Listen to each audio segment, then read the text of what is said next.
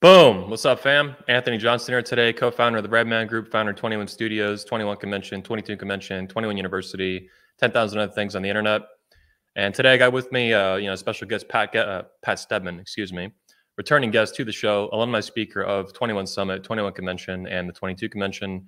He's been on the Red Man Group several times before. Uh, you can go and search on 21 Studios or the Red Man Group channels. Search Pat Stedman in the channel. You'll pull up all his speeches, interviews I've done with him previously, podcasts, stuff like that. Awesome guy. And before we get into today's show, I want to mention too, though, you'll see that uh, we're going to pull this up. We'll pull it up in a minute. But anyway, he's America's most wanted dating coach. And we'll look at some basics of why that is. Uh, it's my title I thought up. I thought it was very funny, very accurate to some things that have happened in his life, unfortunately. But also, I want to show you guys that uh, today's show is sponsored by the this brand new hat, Make Men Alpha Again. I'll be launching it later today on the 21 store. Uh, it's going to be fucking awesome. You should get it. So you can go to the21store.com, support the show, support the channel. You can also check out uh, 21studios.com. Just hit 21 store and it'll pull you right to it. Got all our hats there. Make women great again. Make women pregnant again. Make men strong again. Make women cook again. Make women virgins again. Toxic masculinity all your fan favorites. Uh, they're fucking dope. Wear it in public. It pisses people off, particularly uh, feminists and shit like that. Like I said, Pat is pretty famous uh, for some stuff that happened uh, in 2021, last year, all this crap. It had uh, mainstream news, New York Post, uh, NBC News, stuff like that. you know, dating strategists busted by the FBI.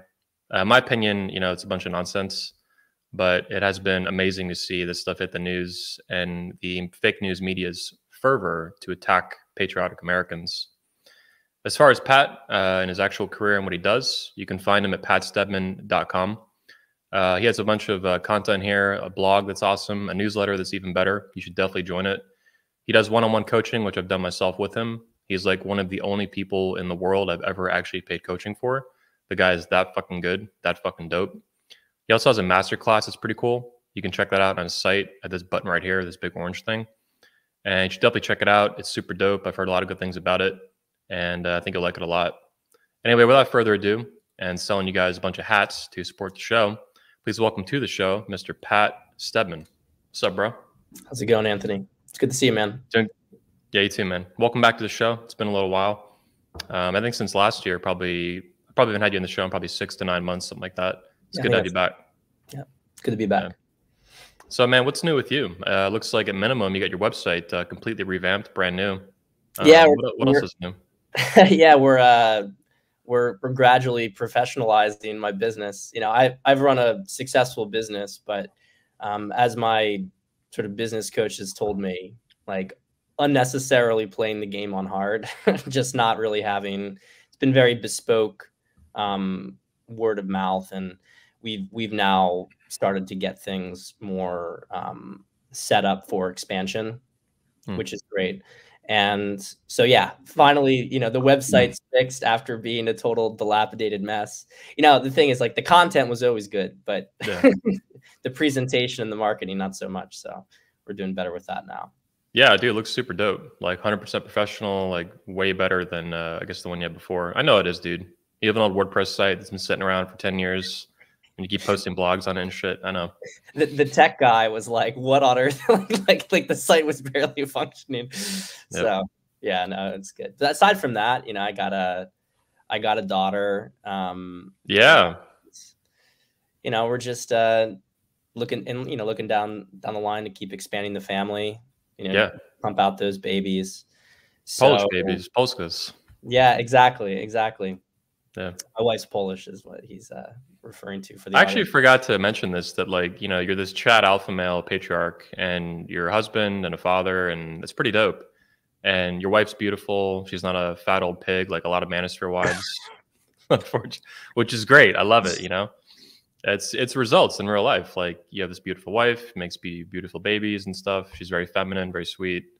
And uh, we're we're gonna. I wanted to mention that too. Actually, let me, let me get this out of the way. That you're a pioneer, in my view. You deserve like a presidential medal medal of integrity and truth uh, for going after intellectual fraud in the manosphere before even I did. And I was also like one of the first. And I think that's one of the most important things you've done is not only coach men and help men, you know, discover a lot of great ideas about dating and relationships, and avoid a lot of toxic negativity, but you've actually exposed and been on the offense for guys who are charlatans and don't mean well and they're predators and frauds and shit like that. And you were doing it back in like 2016, 2017, like in the olden days at this point. Yeah, just for people who are, I, I know that, you know, th- like the Red Man Group and everything is more of a YouTube sort of business. Um, yeah. But on Twitter, the you kind of had the manosphere that was brought on the Twitter from Mike Cernovich, and then everything was kind of pulled in with the 2016 election. When Mike went pretty much full time into politics, there was a big vacuum that was created, and uh, Rollo filled that vacuum. And so suddenly, all the Manosphere content like started to revolve around Rollo, and I, I, you know, I kept an open mind. Like I didn't, I, I didn't just dismiss it out of hand, and I, you know, engaged with the article. You know, I, I read his book. I read some of you know his posts and um, I came to the conclusion by midway through 2017 that this stuff was flawed, and I addressed it initially in a you know constructive, proactive way, saying, "Hey, you know, this isn't this isn't really good for men or women." Because um, look, this is my perspective on it is that what Rollo does is really f- fuels feminism. It's he's the inverse of feminism. Hmm. It doesn't create a positive, constructive pathway for men to be leaders, to be patriarchs, right? It's really just a bunch of whiny shit. Yeah. And it actually the subtext of it is that women are are the problem and that men are like oppressed by women and it creates this oppression loop. So anyway, but I you know, I initially I didn't I I was trying to be constructive, like, hey, you know, let's expand on this idea. Maybe we take it this direction. And rather than have any sort of good faith engagement with the mm-hmm. arguments, which were very well received by a lot of people because it was refreshing, um, I was labeled purple pill, right? Oh. Um, which I didn't you're know. What the pa- you're yeah, patient yeah. zero of the purple pill. Okay. Yeah, yeah, yeah.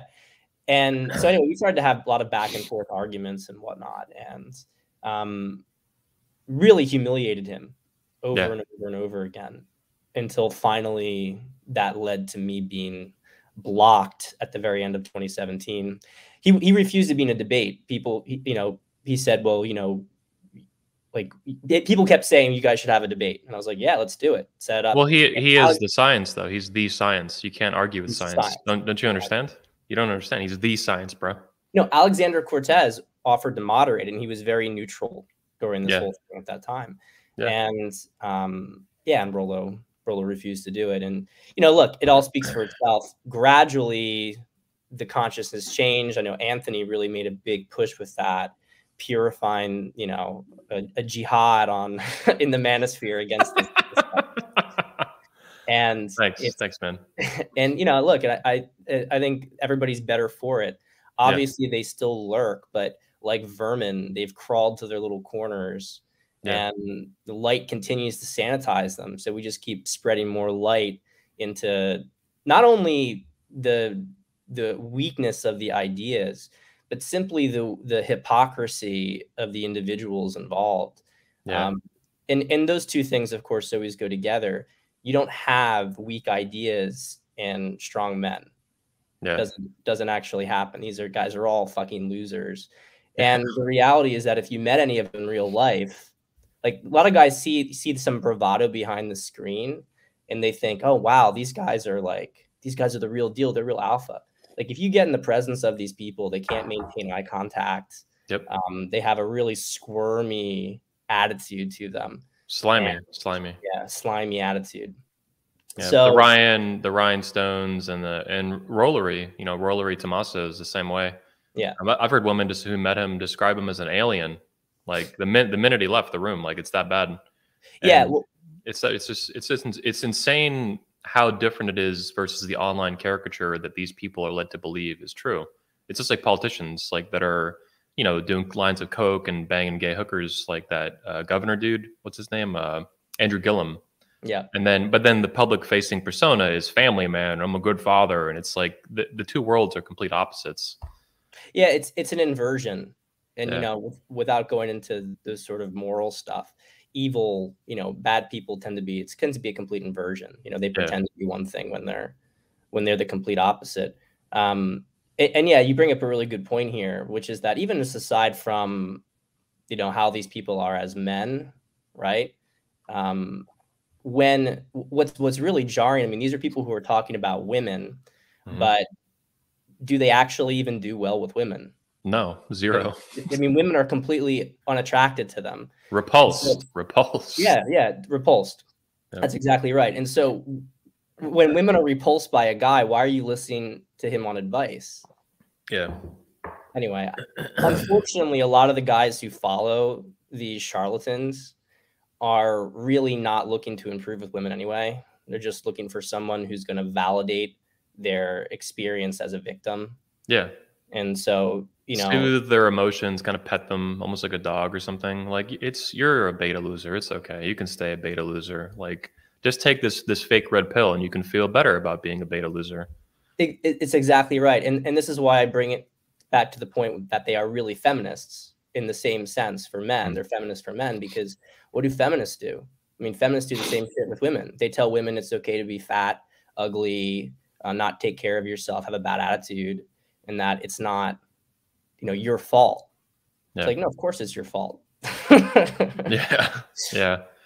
Well it's i mean i, I put it as um it's kind of like eating like in uh, nutrition. Like Yeah. there's all these stupid fucking lies that have been going around a lot of which have been propped up by the government the food pyramid like all this crap and school lunches for kids. And there's just all sorts of nonsense that's been the government's been pushing out and huge corporations that are invested in corn and soy and wheat have put out for decades. And as a young american you're not responsible for that shit uh, being put out, but you're responsible for eating the poison, and it's your responsibility to stop eating this poison, whether it's you know information or it's actually like going into your mouth. And so if you're fat fuck, like ultimately it's your fault, even if you're not responsible for the propagation of the lies and the pushing of it. Like feminism too. Like I'm not responsible for feminism at 33 years old being this insane shit show.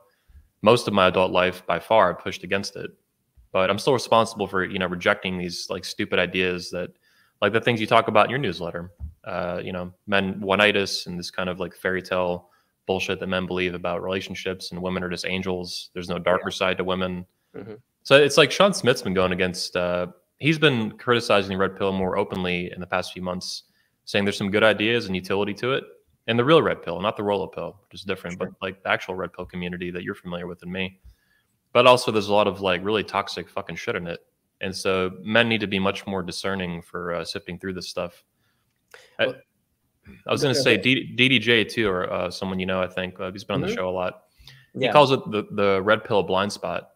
Mhm. Basically, because the manosphere and whether it's MGTOW or the red pill community or whatever, because they push against the mainstream narrative of the feminism, which is like overtly fucking retarded.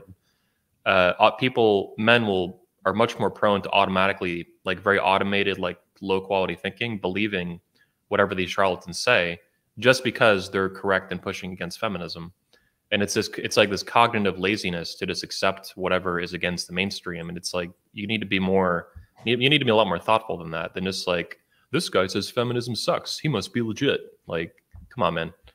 Well, you know, it how we say in politics today that with the parties, it's two wings of the same bird, Yeah, right? It's the same thing with the red pill and feminism. Unfortunately, a lot of guys are stupid, um, or at least they need more, they need to develop their discernment more. And so it's exactly as you say. It's it's it's no different than you have some, you know, conservative guy who believes, you know, you have you have some total charlatan in politics that goes like Lindsey Graham who says, Yeah. you know, like I support America. I'm, you know, the left is spends too much money. It's like, you know, okay, wow, I support that. That means he's a good guy. It's like, no, it doesn't mean that. Yeah. They're selling you their own version of bullshit and you get caught in this paradigm and that actually fuels it. That's why, you know, if we are going to defeat feminism, you have to actually rise above feminism yeah, you can't you can't meet it at its same level of victimization um, Yeah. but you know look it's it's also just a matter of the kind of people it attracts though I, I do think that as we spread more and more light we'll we'll minimize we'll pull more and more guys away from it But the reality is that if you have someone like Rian Stone, I mean, Rian, Rian has an extremely low IQ. Rian, like, like I don't. When I would have arguments with Rian, it was very difficult to even. He, he, he didn't have the reading comprehension to let's just call him let's just call him Rihanna Rihanna Stone. Yeah Rihanna Stone. I mean he didn't have the reading comprehension to be able to actually so it's like you'd respond and then he he would it was like you're at the DMV yeah. And, and you explain that you know this is an identification. They say well no it's no it's not because of this you know like yeah. they can't read the piece of paper. They don't understand it. Like that was that's how it is with Rihanna. So I mean, you know, Rihanna, right? So if, if you're gonna follow someone like that, you have to be even stupider. So, so hang on, I want to clarify. You're claiming, and I support this claim if I'm accurate here. Rian Stone is the DMV of the manosphere. He's a DMV of the manosphere. 100%. Okay. I love it. 100%. I love it. I yeah. love it. Sub 90 IQ, no question about it. Yeah, he's um he's like that in real life. Like he's kind of retarded and uh, he's uh, he told me his girlfriend or his wife. Uh, I think she became the his like piggy wife. Uh, she she's he said she was a cokehead at a party. Is how he met her. There she like that's literally what he told me on the Red Man Group one time. So it's like these guys, and he wifed her up for some reason. I guess I had true love is true love or whatever. I'm not going to get in the way of mar- marrying a cokehead, but I will make fun of it.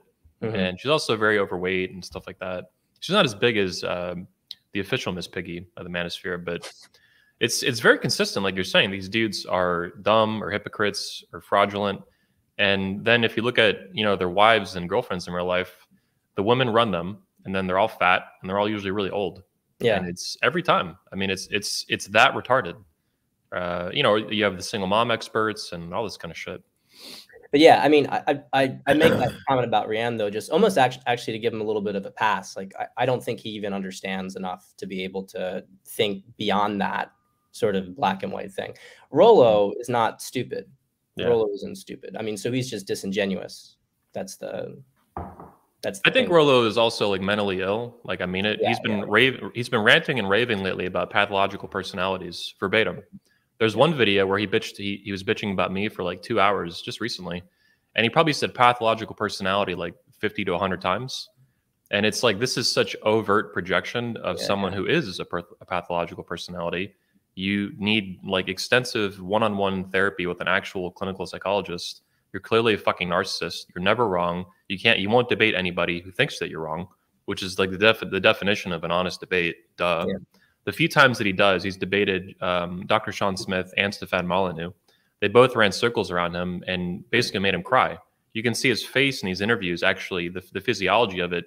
He, he gets more and more butthurt uh, like every 10 minutes. You can see like he just tightens up and gets all mm-hmm. fucking mm-hmm. pissy because he's like a little girl who's like losing this debate and he can't handle it. He can't just say, "Oh, I was wrong about that," or "Let me look more into that because I'm getting, I'm going to double back on what I think because maybe this guy has a point." There's just none of that.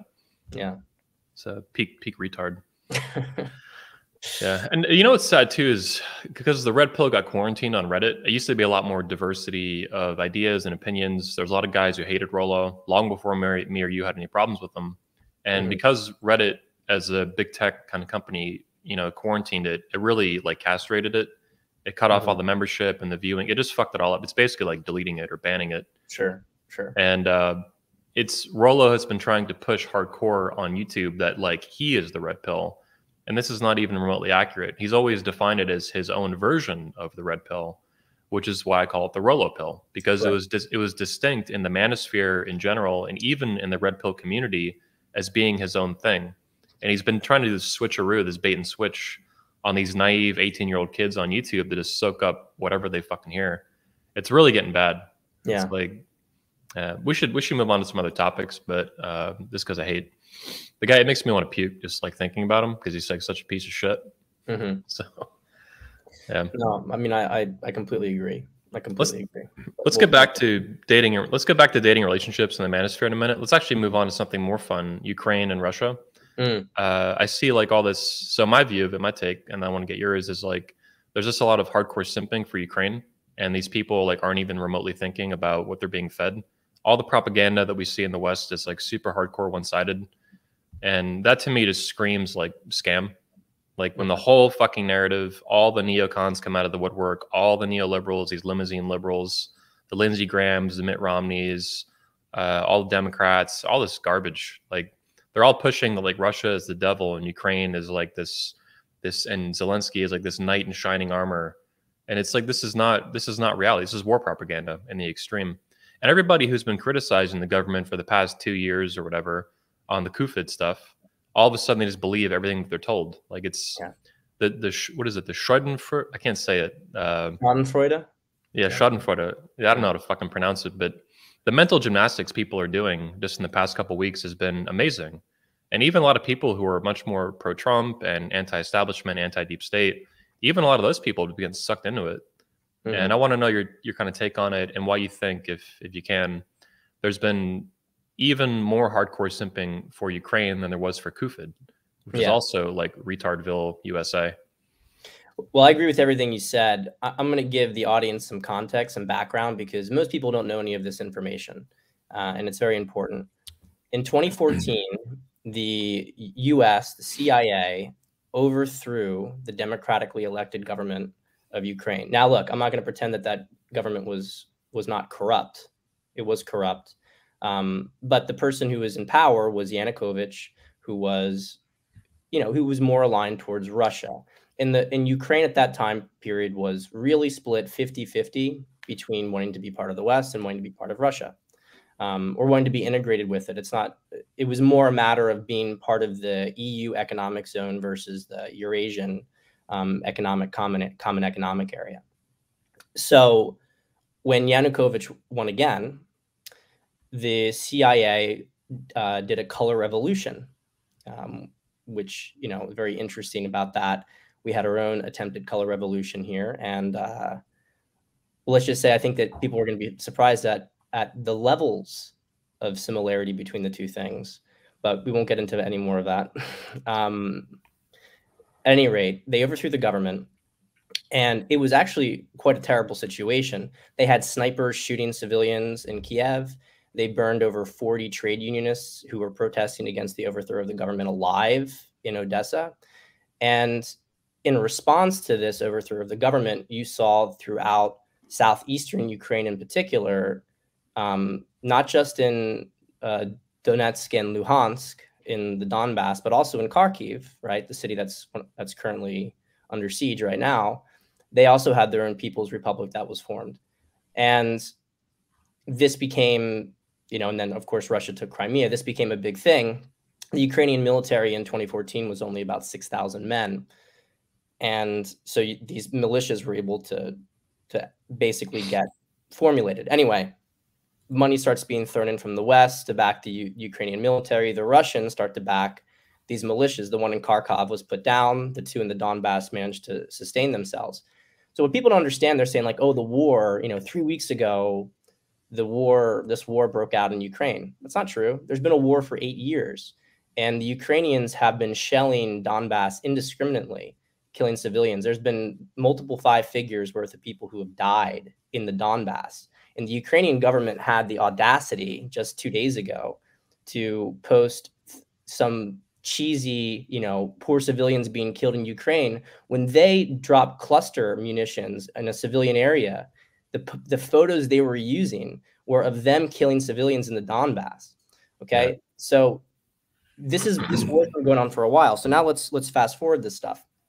And I won't go into some of the more, um, you know, which I think, frankly, have some credibility, but theories about the biolabs and what exactly was going on in there. But yeah.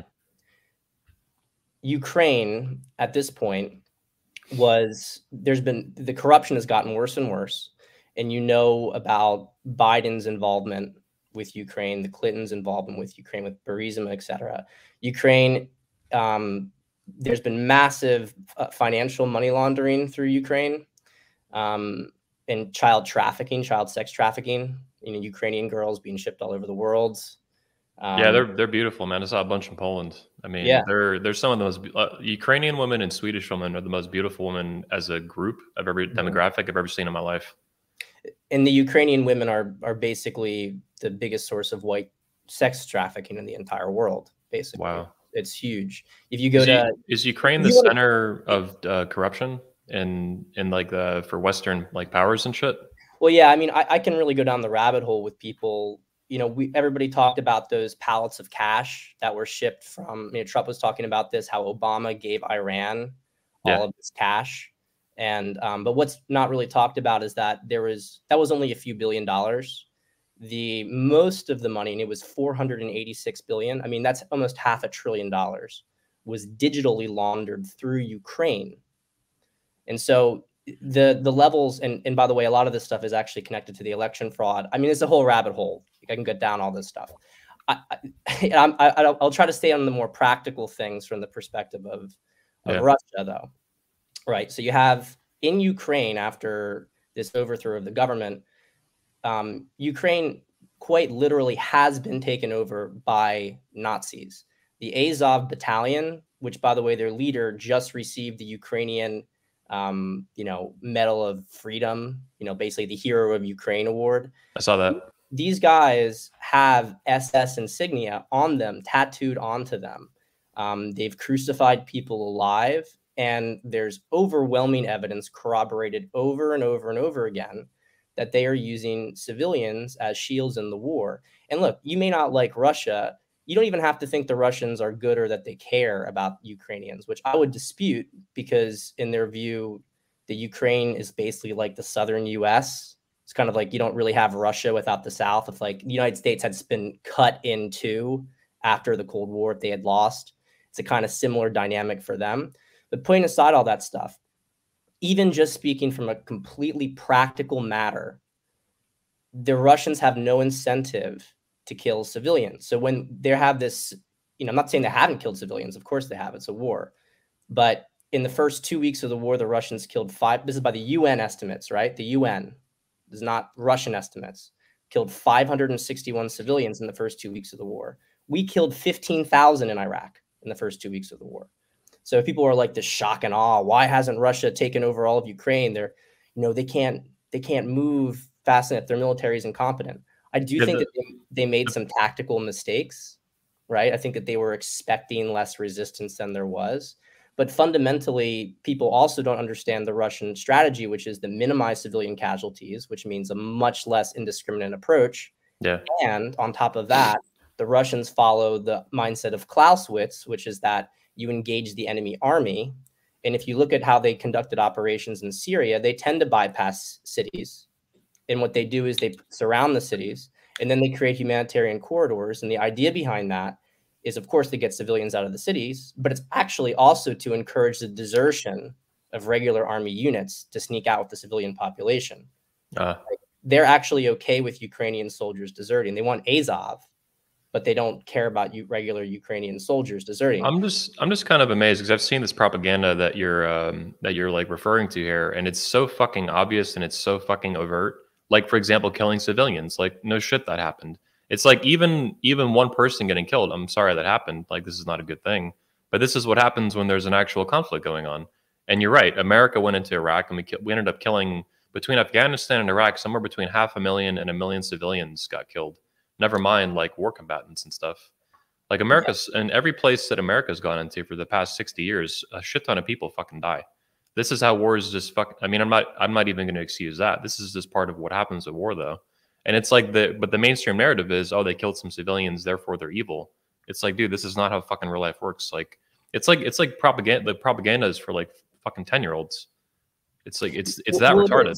Well, because the American public, Western public, has been really brought down to the mind of a child, right? Yeah. They watch Marvel movies, and everything is in this sort of okay, you know, who's the hero and who's the villain and you know, and and it's just all caricatures and they can't yeah. think in any sort of realistic terms. The bottom line is that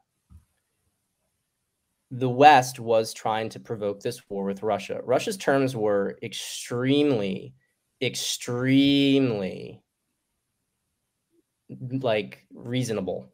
Basically, they wanted Ukraine to be neutral and they wanted guarantees that it wasn't going to join NATO.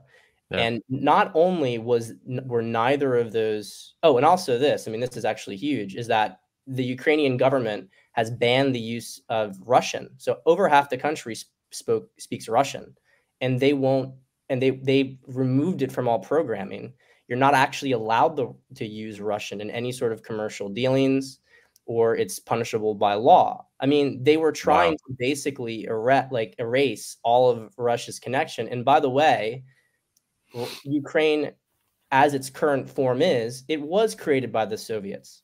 And a lot of Russian speaking areas, Novorossiya, which is the entire south, the east eastern portions, those were never historically Ukrainian. They were lumped into this. I mean, Crimea was certainly lumped into it. Khrushchev gave it to Ukraine because his wife was Ukrainian. I mean, it was like literally in the 50s, it was like a gift to his wife. Wow. It, it's so the borders of Ukraine itself are arbitrary. Russia's terms were fairly reasonable. But in the week before the invasion, two things happened. First, three things happened actually. First, Zelensky went on this big rant talking about how you know, they needed to join NATO. And no, no one in NATO disagreed with him. And then he said that they needed to reconsider the 1994 treaty, which was when Ukraine gave up its nuclear weapons. Mm-hmm. So then Ukraine was talking about getting nukes, basically. And then that same week, after Russia had pulled its forces back, Ukraine mounted a massive offensive on the Donbass. And so, which would have overrun the Donbass probably.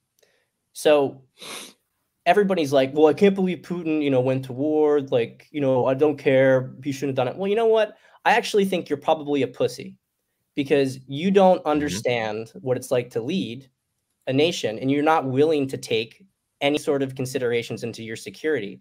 Our country, United States, has absolutely zero right, zero right to talk about just war every single war we have been in since the end of the Cold War has not been a just war. Yep. You can Bingo. make some arguments perhaps about the initial invasion in Afghanistan, but everything else besides for that. And by that you mean like the first year before yeah, Obama, yeah. I said almost said Obama before Osama left. Yes. Yeah. Exactly. Everything after that, the next 19 years have been full retard. Yeah, exactly. Exactly. Yep. So I mean, it's it's just absolutely inconceivable that that you would, as as the leader of Russia, allow this sort of baiting to occur. And and the reality is that I think Russia objectively exercised every single diplomatic option they possibly could for eight years. People were like, well, why didn't they you know be diplomatic? You guys just have no fucking clue what's going on in the world. You didn't pay attention to it. I mean, all these people, all these people didn't even know they couldn't find Ukraine on a map a few months ago. No, they couldn't. Like all, all, these people, dude. I found a fucking neighbor walking around my neighborhood, big Ukrainian flag on their house, and I'm like, get the fuck out of here! Like you, it's just one of these another fucking part. I've seen that like all these people around where I live and shit. Like it's just in Florida. It's just fucking crazy, man. These people are, are absolute sheep. They don't know shit. Yeah, and and let me just make a little interesting di- like side connection here with Libya, right? So Clinton killed Gaddafi right?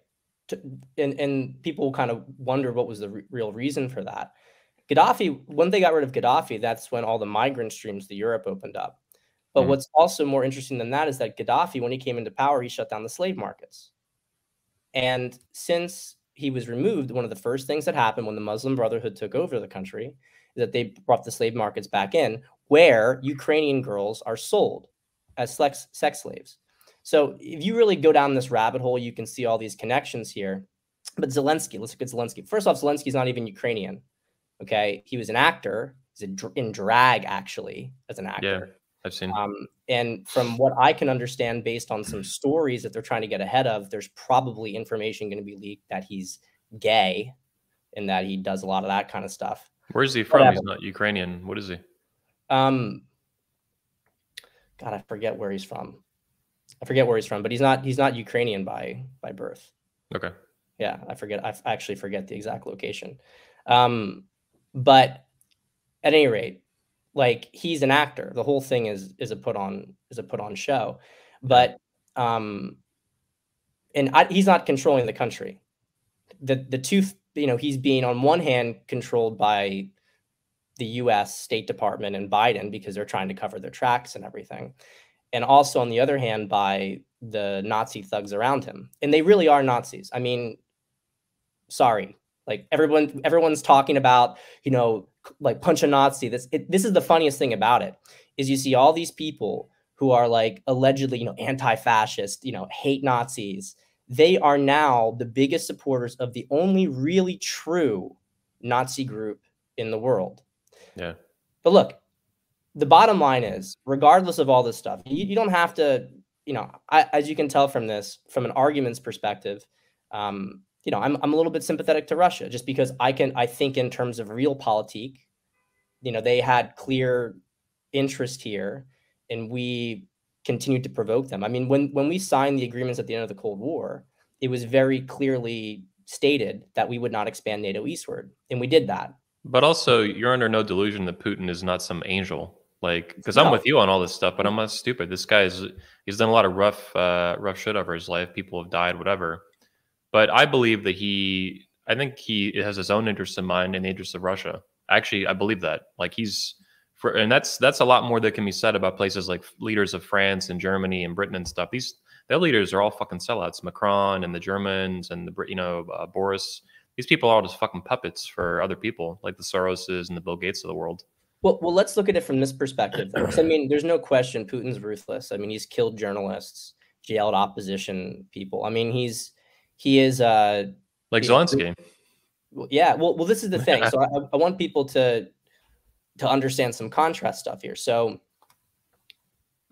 in you know people saw the other day there was you know pe- people cheering about this that some woman went on while they were doing a broadcast on Russian news she held up a sign basically saying stop the war. Okay. Um, what happened to that woman? Oh my god. And you know Putin's evil tyrannical state she got a $300 fine or a 300 ruble fine right for doing it.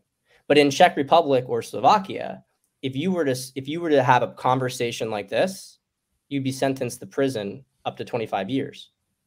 Just for just for publicly talking positively about Russia. Wow. They've they've frozen just people's bank accounts in Britain just yep. because they are Russian.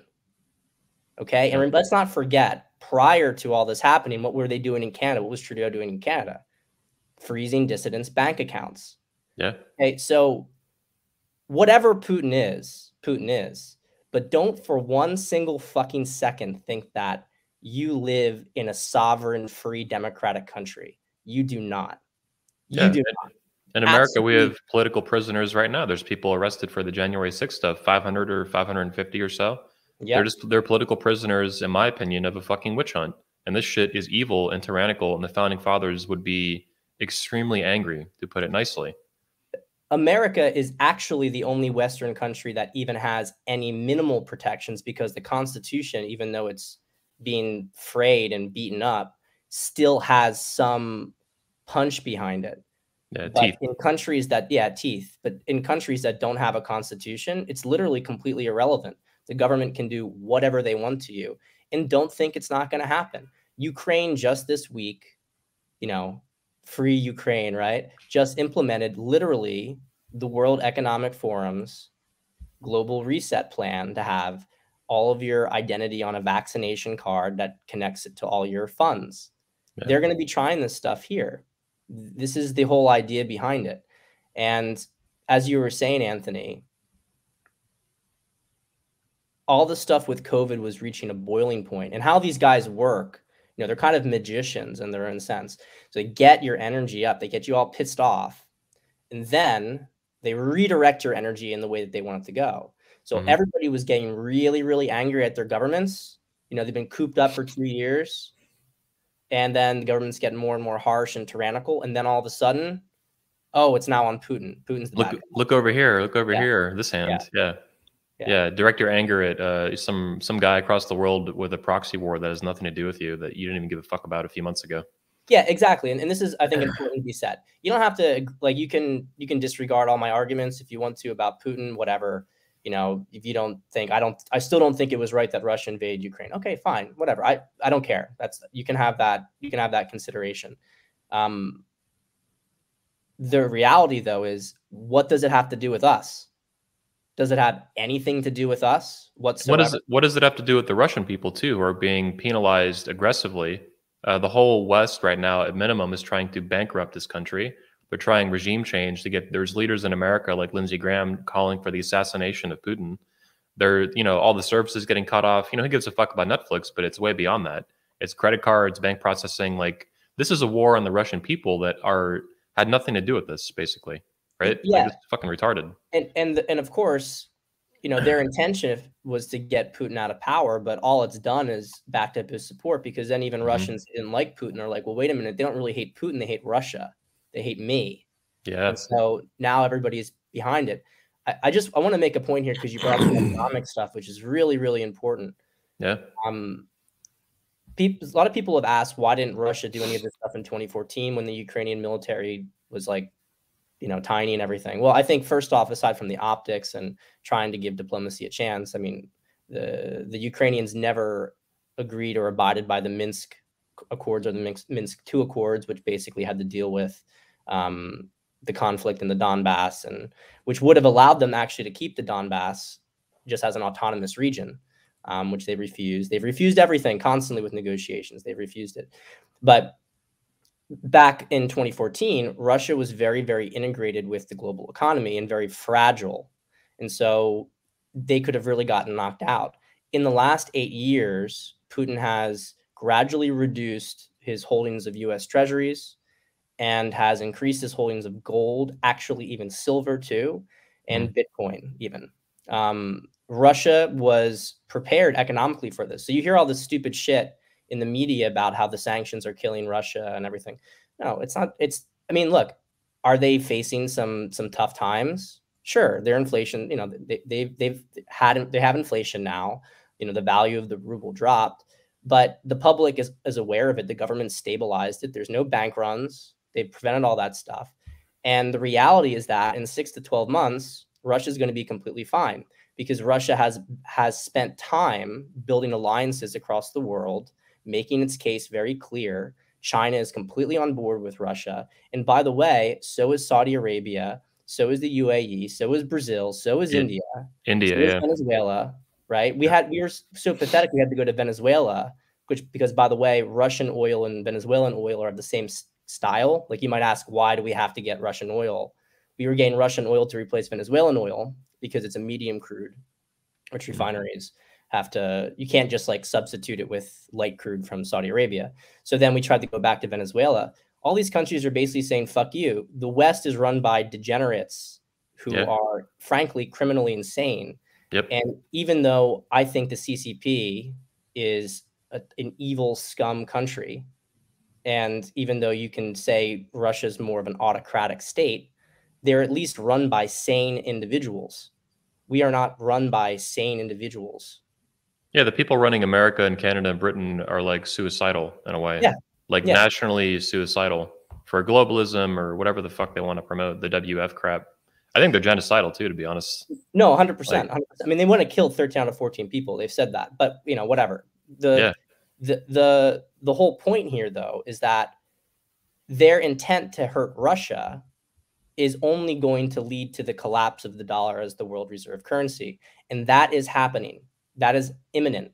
It's going to happen well, in the next few months. I think what you're saying too is that uh, if I can reframe it, like what America has done and NATO and other Western nations, it's created, they're setting up uh, by intention or stupidity a multipolar world where the dollar is no longer the reserve currency, where America is no longer kind of the leader all this kind of stuff. Like they're setting up almost the, the preconditions for a real World War III.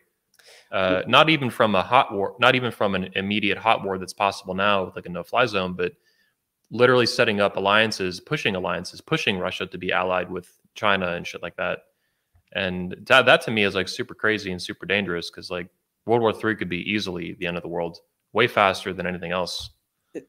This is, in my understanding, so they they've been stealing money from the United States um, for years, and Catherine Austin Fitts has some interesting stuff with this. And if you go down the rabbit hole even more so, you know, kind of with 9-11, et cetera. At any rate, they've been stealing money for years from the United States and moving it um, overseas, um, moving it into black budgets. And so the debt of the US has been going up and up and up. And they basically, by the late 90s, they understood that they had fucked this country to such a degree that you know with the pension funds all getting moved up you know being basically emptied put in put in markets and stuff like that that are that are like ephemeral, right? They don't actually have value. They're never going to be able to be sustained. Um, they realized that they had bankrupted the country, and so what they're doing now is they're trying to collapse it, but give a reason for its collapse that isn't them, and then yeah. to use the collapse to move things to the central bank digital currencies, right? Which is like which is called like an evil Bitcoin. So if Bitcoin is decentralized, limited amount, right? Deflationary and um, non-censorable or controllable. The CBDCs are centralized, unlimited production, and completely controllable. They can shut off. They can tell you, you know, you only have two burgers you can have per month. The rest of your burgers have to be bug burgers, right? This is literally stuff the World Economic Forum has put out. You can watch videos on it. Yep. They've done their own presentations. It's not a fucking conspiracy theory. It's their own fucking presentations. Wake like up, the, people. Wake like the, the uh, up. It's like the evolution of fiat currency. It's yeah. like the next level of fiat retard shit. Except there's no way out of it. Yeah. You, if, if that becomes implemented, it really is game over for the planet because they can shut off your ability to eat or do anything. And um, so, anyway, the war is a convenient way to kind of collapse the entire Western system that they have already hollowed out yeah. from the inside. So the only thing that I'm I'm becoming unfortunately more convinced that there is going to be some kinetic action because um, you know all this propaganda about Ukraine winning and doing well um, and and how Russia's planning on doing a chemical weapons attack. That's all the kind of shit that they do to pre-plan a false flag. Yep. yep. I think there's going to be some false flag like that, um, and then that's going to be used as justification for NATO to come in. Yep. And Russia will hit NATO troops. Absolutely. NATO troops cross the border into Ukraine. They're going to get hit with cruise missiles, and if if you were to game this out, I'm not saying that Russia's military is stronger than NATO's military. It's not. But Russia would be prepared to lose a million people in this war. And you're going to see Western countries revolt when 10,000 people are dead. Yep. I mean, it's going, we, we have zero will or capacity to fight this right now. Um, Russians too have a history of fighting and fighting like these kind of crazy odds. Like they lost millions of, of men in the in World War II, way more than like America and Britain did the the low estimates of what Russia lost was 24 million people in World War II. Um, I mean, it, I mean, uh, combatants though, not like you're talking more about like uh, genocide and famine and shit like that, right? No, no, I'm talking about combatants. 24 million. Oh, combatants. I don't know. Is they lost a further 20 million civilians. Yeah. Yeah, yeah, that's pretty wild. Million people, in, in insane numbers of people. They lost more than yeah. all of all of Western Europe combined. I think I think this is why too America is so it's one of the reasons America the boomers you know whatever all the way through now even before them were so insulated from like the real consequences of what Europe went through and Russia and China. Like these people have lost America lost so so little in World War II like you know nobody's eh, you know Europe was blown to smithereens. There was genocide. There was you know massive war. There was famine. There was cannibalism.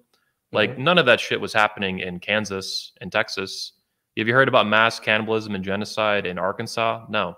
no. Like this country has been so fucked. Our grandparents, even people who went to war, they saw a lot more obviously up close. Like my grandfather was in World War II, but this is just like it's it's nothing compared to what these people have been through. They they lost tens and tens of millions of people. Uh, all, a lot of these countries, you know, all the way through. So it's like, uh, you know, China killed 55, 54 million Chinese starving to death. There was the Holodomor, like the, the genocide like America's just and Canada too, just so fucking insulated. And I think it's really had consequences, you know, not only not only geopolitically and politically within our own countries, but all the way down to like masculinity and femininity and shit. That's why it's part of why things have gotten so fucking crazy. Yeah. And yeah. But, no, uh, no, hundred percent, hundred percent. I mean, America, America lost more people in the Civil War than it did in every other war it fought combined. So you go back to 1860 and 1861, I mean, the population of the U.S. was I think about seven million in the South, and it was like maybe three times that in the North, three to four times that in the North. I mean, and we lost about 600,000 people throughout yep. the entire course of the war. More than I mean, World War II, we lost I think only 300,000. Is that right? 200, a couple, uh, something like that. Yeah, it's a couple hundred thousand, something like that. Yep. I mean, the point is that, with the exception of the Civil War, which was incredibly brutal in yeah. this country. we have not really experienced pain in yep. war. And by the uh, way, the modern equivalent of the Civil War deaths is something like six or seven million now.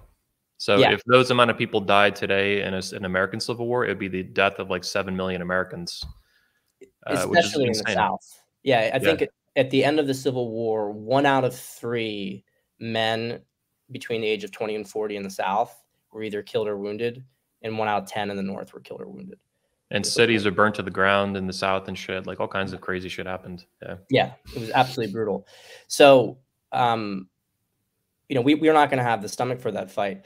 The, the only thing that I feel positive about with the situation is that I don't expect it's going to get nuclear. And the reason is twofold. Well, first off, the Pentagon um, does not want this war. This is being driven by like the State Department and the CIA and stuff like that.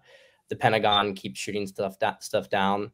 Um, not that they won't won't get dragged into it. They obviously have their lackeys there, but within and I have my own kind of theories about some of this stuff. But uh, I don't. I'll just suffice to say I don't believe that ballistic missile command is has has given access to Biden. And there's a lot of evidence of this. And I and, and so I don't believe that that sort of core group, which is the only part of the military that is not infiltrated and is heavily, like highly, highly professional, the most serious people who deal with the nuclear weapons, they Trump shut them up in Cheyenne Mountain on March 15th, 2020 out of an abundance of caution because we may already be at war yet. And Cheyenne Mountain has not opened up since to the outside world. So they knew some shit was going on with the release of COVID. But at any rate, I think that some of that idea about kind of what's been going on with with this regime has trickled through the ranks. The Pentagon's becoming, especially after Afghanistan, they're becoming more and more, you know, pulling back more and more. And um, frankly, though, even if all that stuff I'm saying isn't true, at the, at the end of the day, nuclear forces of Russia and the United States are in constant co- conversation with each other. They're always communicating. So whatever hap- else happens on the ground with you know conventional weaponry and stuff like that, those two groups are very very serious and they're talking to each other. And I I I'm I'm telling you that if Biden were to tell American nuclear forces to fire a nuclear weapon, they would not listen. You know, I don't actually think that they even recognize him because remember because he wasn't even carrying his own he was carrying his own briefcase, you know? Like this is this is something that indicates that there wasn't really a handoff of that material to him. Which yeah, it's probably way, like ice cream in the suitcase too. Like, yeah, you know, exactly. exactly. Chip. You know, as if as if he could even remember how to put the codes in anyway. Yeah. but, no, but you know what? To be honest, people think it's a matter of like, oh, the president types in the code and they fire the missiles. That's not how it works. Since 1954, they have all sorts of protocols. It's a handshake agreement. the The president sends a, a message to nuclear command to launch, and then the generals in nuclear command use their own judgment to decide: is the president compromised? Is there and and they have all sorts of protocols that have been place since 1954 to deal with this in the event of like a Manchurian candidate kind of situation. Hmm. So anyway. Yeah, which we've kind of had nonstop with a few exceptions for a long time. Mm-hmm. Mm-hmm. Yeah. So let's move on. Let's move back to dating and stuff. It's fun talking about this because it's such a huge. Well, I don't want to make light of the fact that there's people suffering and dying, but the stupidity of it all on the American side and the West side and all the simping. It's just it's so sad too. If we can close it out, like I want to get your thoughts on this real quick all there's a lot of MAGA people that you know Trump Republican, so to speak. I'm not really a Trump Republican. I'm more of like a Ron Paul Republican, but mm. I love Trump and I love what he's done. And I'm looking forward to seeing. I saw him recently in Orlando. It's always super mm. cool seeing him in person. The light, the energy yeah. of that guy, man. It's crazy. But but uh, you know, even like the Sebastian Gorkas and a lot of other people that I kind of liked, it's like they've just been hyper simping for Ukraine uh, totally in alliance with like the Hillary Clintons and the Lindsey Grahams and the CNNs and the MSNBC. It's like it's pathetic. Yeah. i I really didn't expect the simping to be so hard and so fast. They like it's like they have they have, they have like cognitive whiplash from it. It came around they came around so fast on this. and uh, it's just it makes me sick. Like it, Yeah. it it shows you how entrenched neocons neocon thinking is, even beyond neocon individuals and the neoliberals and the uniparty. Like it's it's uh, demoralizing almost in a way. That's how that's how bad it's been for, in my opinion, to see. There's a couple of people like Ian Smith, for example, one of our own speakers, who's running for Congress in New Jersey. Fuck yeah, I see him all the time. He he, he runs my gym. yeah, I love that guy. Yeah, he's amazing. Yeah, yeah. I just we actually just uh, uh, edited a speech that's actually on the channel now. It's not Hmm. public yet, but we got it done. But yeah, he's one of the few, and there's a couple of people like him that have been consistently like Ukraine. This all this Ukraine shit is retarded. But uh, have you have you seen that too? Like a lot of people that you supported and liked have just like turned tail on this shit, like retards. Well, you know, I, I don't know to what extent, it, like, my personal opinion is that to varying degrees, you're looking at 80 to 90% of Congress being compromised. Um, oh, e- easy. Yeah, yeah. I mean, you know, you can say how badly are they, all of them compromised? There's maybe only 20% are true, true, like evil scum in on everything. Other ones are maybe just blackmailed because they did this or that. but whether there's weak cowards, like they I are. I don't they're all- discount that. No, not 100%, 100%. Um, for the Republican Party, even aside from, you know, any beliefs that this is just all orchestrated, they make so much of their money from the military industrial complex. And I mean, just the donations pour in whenever there's a war, right? Yeah. Because defense contractors make boatloads of money. So there's just there's enormous amounts of corruption with the whole thing. Um, I do think many of them will start to pull back because there just isn't any support in the American public for it. I mean, I would say probably about a third of the country is about.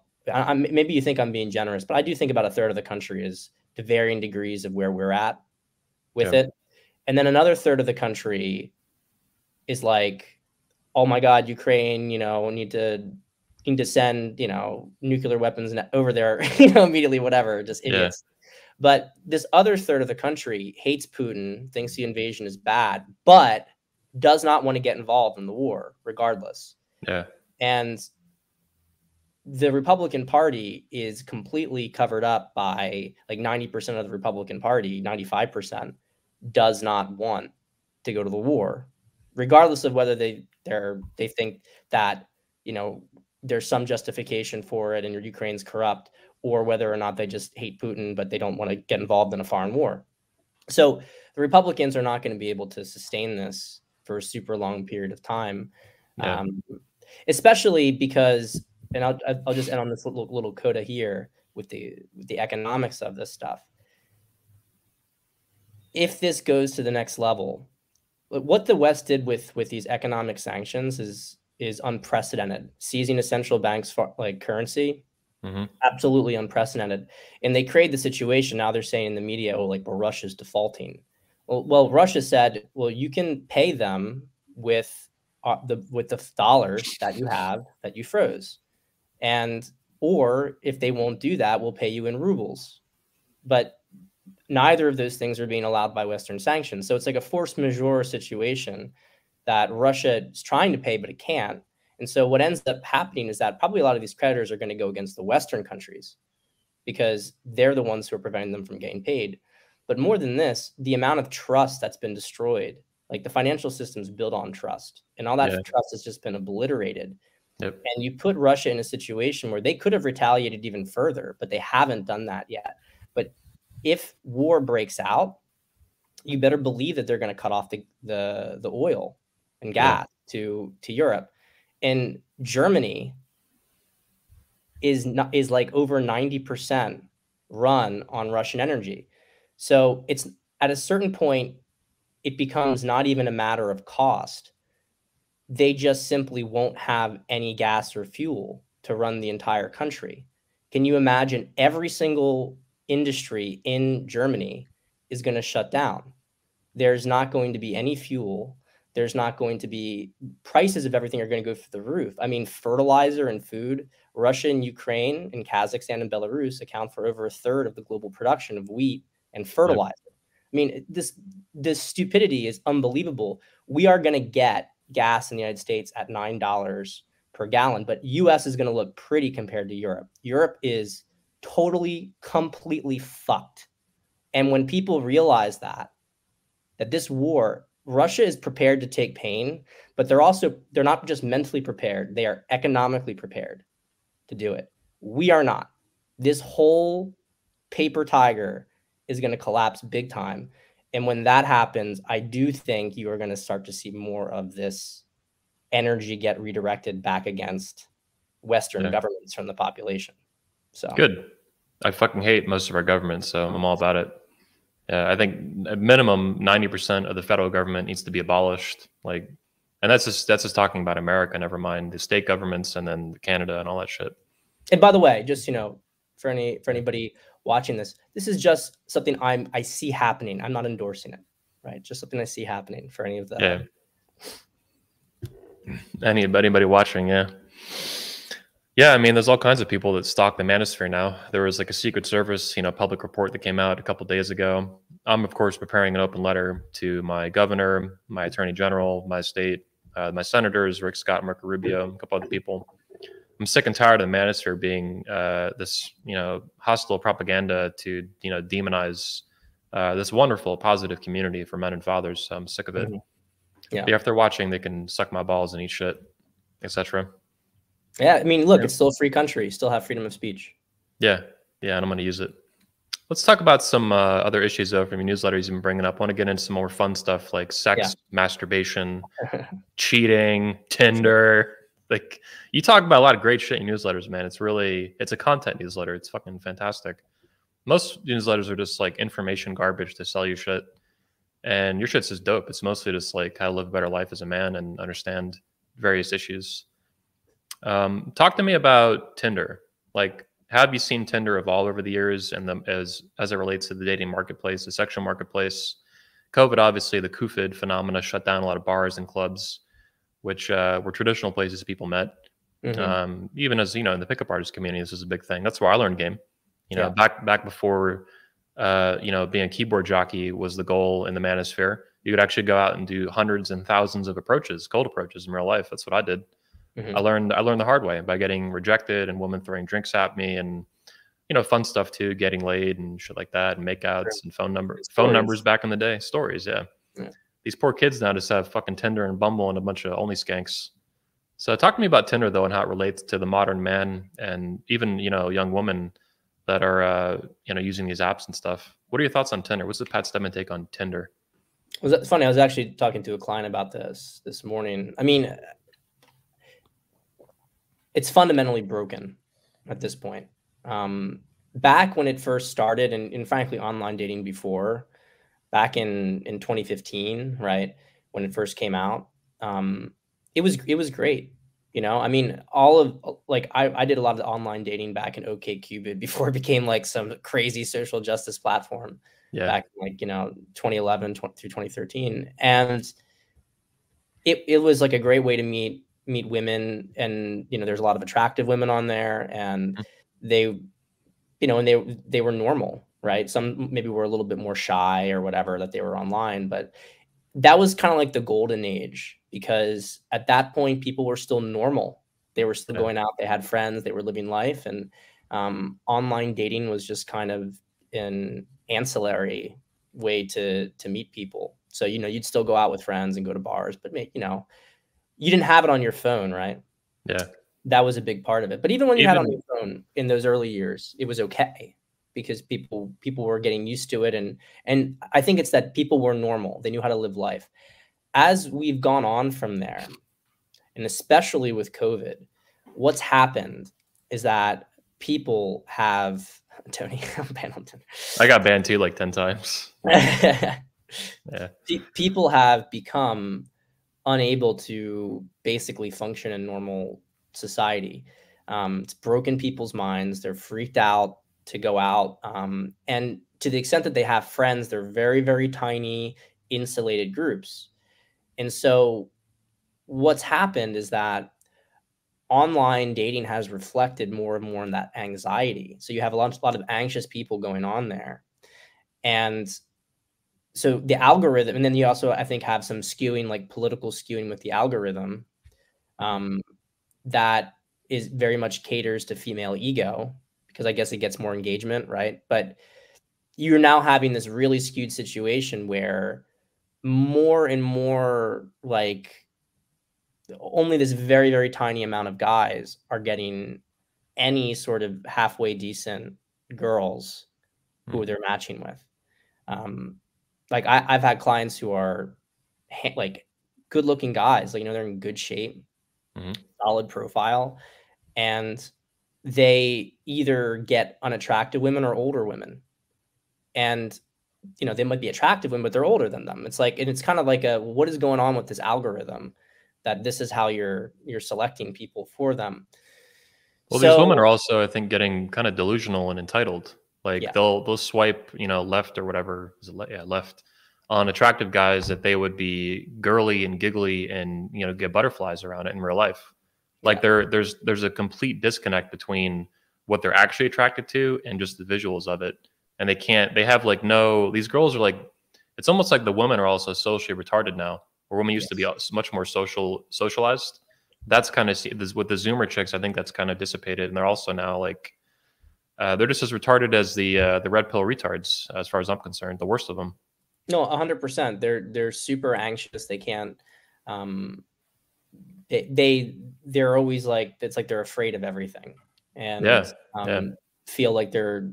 So it's like they need to go through these intermediaries to to be able to kind of modulate the you know conversations for them. And and of course there is this ego aspect to it also which is that they get presented with you know some guy who maybe on paper is super super attractive and everything. So they're like okay i want him. Well the reality is that if that guy is even going to see you he's just going to fuck you. That's Yeah. it. I mean there's there's no there's no sort of realistic pairing. It's all like an ego and entitlement thing. Um dude when i I- used to be on tinder and bumble i would swipe left on like 90 something percent of women. Yeah. like so they're all just fucking gross and fat and it got worse every year. Yeah i mean at this point I- really have to say that it there was like a brief uptick of it being good in um the very beginning of covid because a bunch of like regular people went on who normally wouldn't. Yeah. But- this is another variable actually which is that a lot of the more normal healthy people when they get on that app they're like what the fuck is this and then they get off of it and so it's becoming more and more of like an insane asylum yeah so there there's also that element it's Um, a corrupt shithole like ukraine Yes. Yes. No, 100%. I mean, the, the kind of rule with online dating now is that, and it used to it used to be able to filter for it much more easily, but you really want to get girls who have only been on the app for like less than two weeks. Because if you Yeah. if you get girls who have been on it for months, I mean, there's just zero. Like it's all you're they're totally fucked up. yeah So. Heartbroken, fucked up, jaded. You know, they've been, you know, just whatever the fuck. Yeah, it's. I, I agree. They they have to be fresh to it. Have to be new, fresh pickings. I, I'm just gonna seed this right now. I'm seeding it. Um, Hmm. There, there is actually. I'm I'm working with someone on developing a different dating app. Cool. So that's that's the first kind of announcement here. That's gonna break all this shit. Um, you know, Yeah. we're still we're still in the preliminary phases of it, but Cool. it's. Uh, I I feel I feel optimistic about about where it's gonna go. They've pretty much all been like super feminist too. So anything that would be against that narrative would be great. Tinder actually is less retarded than Bumble was the worst of it. The, the, the, the CEO is like overtly hyper feminist. She used Yeah. to be, I think, an employee at Tinder too early on. Right. Yeah, I, I got ban- Bumble too is much more effective at banning you. Like I could get around Tinder bans for a while, but Bumble was getting. They started tracking like my my IP address and shit. Like they got really. They even banned me on from Twitter once. Got posted on Twitter. The, the actual the, the official Bumble account. I was kind of mocking them because I was posting screenshots of the shit I was saying to girls that would get me laid. Yeah. You know, it's all kinds. It's kind of asshole game stuff. And the Bumble people were like, "Oh yeah," and they fucking banned me like immediately in my actual Bumble account. I was like, "Holy shit!" Yeah, I think I think they just because my name Anthony was on it, and I think they're able to identify by Orlando and Anthony or whatever. Mm-hmm. I guess they just there wasn't that many Anthonys in Orlando, maybe a few hundred. And they there just- was there was some the, the- the speed of it though, the speed of it, yeah, was amazing. Yeah, you you triggered one girl behind the scenes there who really Yeah. wanted that. Yeah, Dude, it was like within an hour. I was like, holy shit, these people are psychos, dude. And all I Mhm. was saying is like, I want to come over your face and make you my girlfriend. Like, this is standard, you know, kind Yeah, of yeah, stuff. Bumble too, you could send dick pics, which is pretty cool. Tinder, you can you can send dick pics on Tinder. I think early on you could, but that was before my time.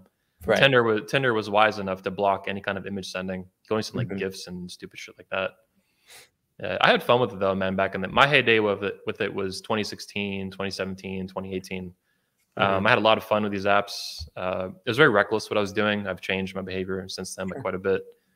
Um, I'm in a relationship now. You know, I have an actual official girlfriend, the first lady of the manosphere in, in training. In training, yeah. everyone loved her at 21. Man, she made like 400 cookies by hand mm-hmm. for everybody, and uh, yeah, a lot of good, a lot of good comments from people. And I told people to be like very, very uh, raw in what they thought of her with me and stuff like that.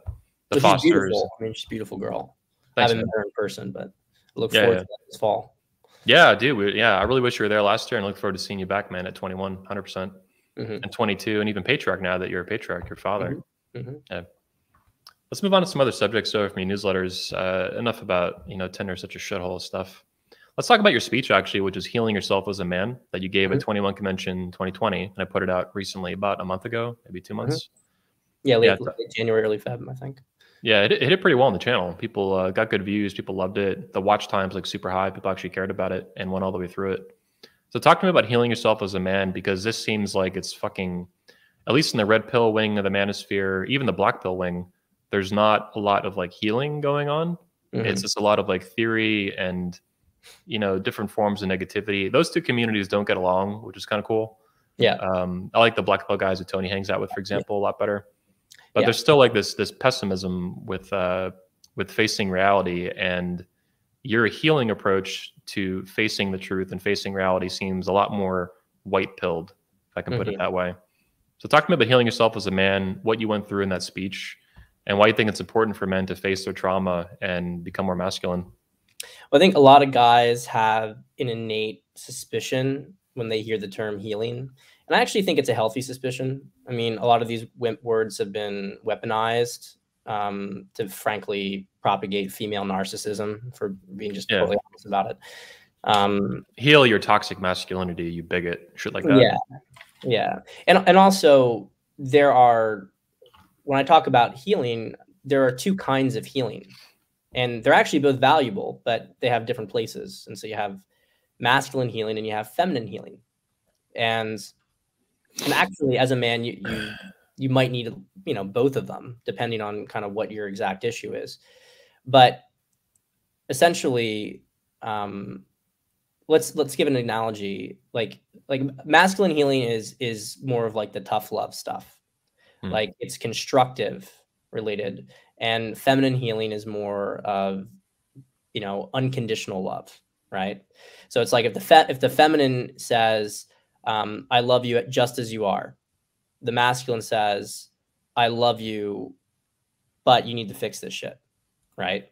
And yeah. so, an, an analogy for this is if you break your leg, okay, it's, you know, it's nice that, you know, your mom or your girlfriend's like, oh my God, are you okay? And it's like, wants to be there for you emotionally. But I mean, if you just have that, your leg's still fucking broken. Because a guy comes over and says, all right, put this stick in your mouth, and then they snap your leg back, you know, and then set the, set the splint so it can heal, yeah. right? Masculine healing, in that sense, can be tough, but it does help to put you put you back together. Um, and so there needs to be a balance of those two things. In the speech, though, a lot of what I was talking about, I did, I think I did touch on some of that, but a lot of what I was talking about was the relationship that a man has to himself and its connection to his father and sort of into the initiatory process of becoming a man and mm. that's something that's been really taken from from guys today and the reality is that as a man your patterns are deeply deeply embedded in with your father to the extent that you either become just like him or you become total opposite of him but rarely does a man become something that is not in response to him, his father, mm. become his own person.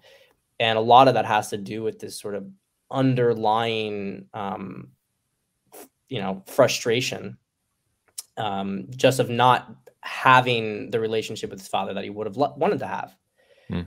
which ends up being a reflection of his relationship with himself. So I do a lot of inner child work with clients, and you can look at your inner child as like basically a sub personality unconscious aspect of yourself that a lot of self sabotage comes from. And so if you have a bad rela- like as we go through adolescence, our conscious mind develops more and we often develop an adversarial relationship with this child. So it's like the child is out there in the world and he gets hurt and he doesn't, you know, and he feels bad. And then gradually as your conscious mind develops it's like okay well you know what? Stop being a bitch that if we do this they're going to attack us. So we have to protect ourselves in this way. And that can become a really negative dynamic. And you see that a lot in the manosphere because it's guys who are trying to get better but they are basically it's all about self self improvement but the subtext of the self improvement is that they're not actually valuable intrinsically.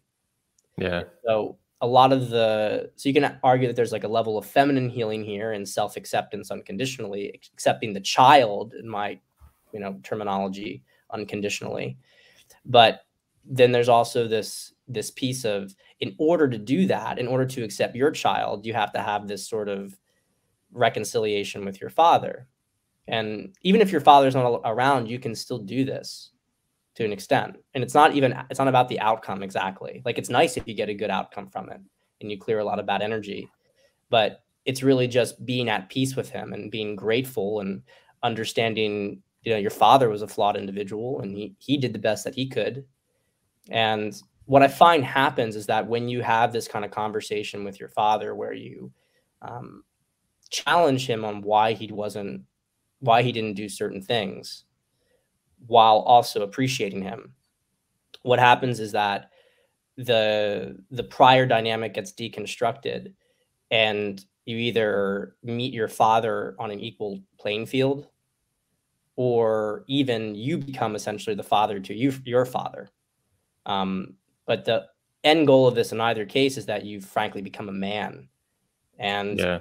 as long as you are continuing to hold this sort of negativity towards your father you're sort of implying that you're still the child and that you're not mm-hmm. able to to know to act as a man with agency in the world it's all about rebelling against him mm. so that was a, a key aspect of and i go into other stuff as well you know yeah. talking about initiatory experiences but i think that's probably the most important part because I've, I've done that work with clients i don't know hundreds of times now and it's just absolutely astounding almost every single time it, it just le- leads to like a completely different dynamic with his father and, and himself yeah so. i agree with a lot of that i disagree with some but mm-hmm. it's interesting to hear different perspectives yeah and definitely you're coming from a positive place and i think you're helping a lot of guys figure shit out which is a lot more than can be said about so many other dating coach frauds and shit that really don't give a fuck about anything other than their brand and making money and really like just materialistic, like uh, simplistic bullshit that mm-hmm. is just pathetic. So I love that you care about these issues and you you're you're a warrior for the truth and you're a fighter for it, and I love it. I appreciate that. Even yeah. when I disagree with stuff.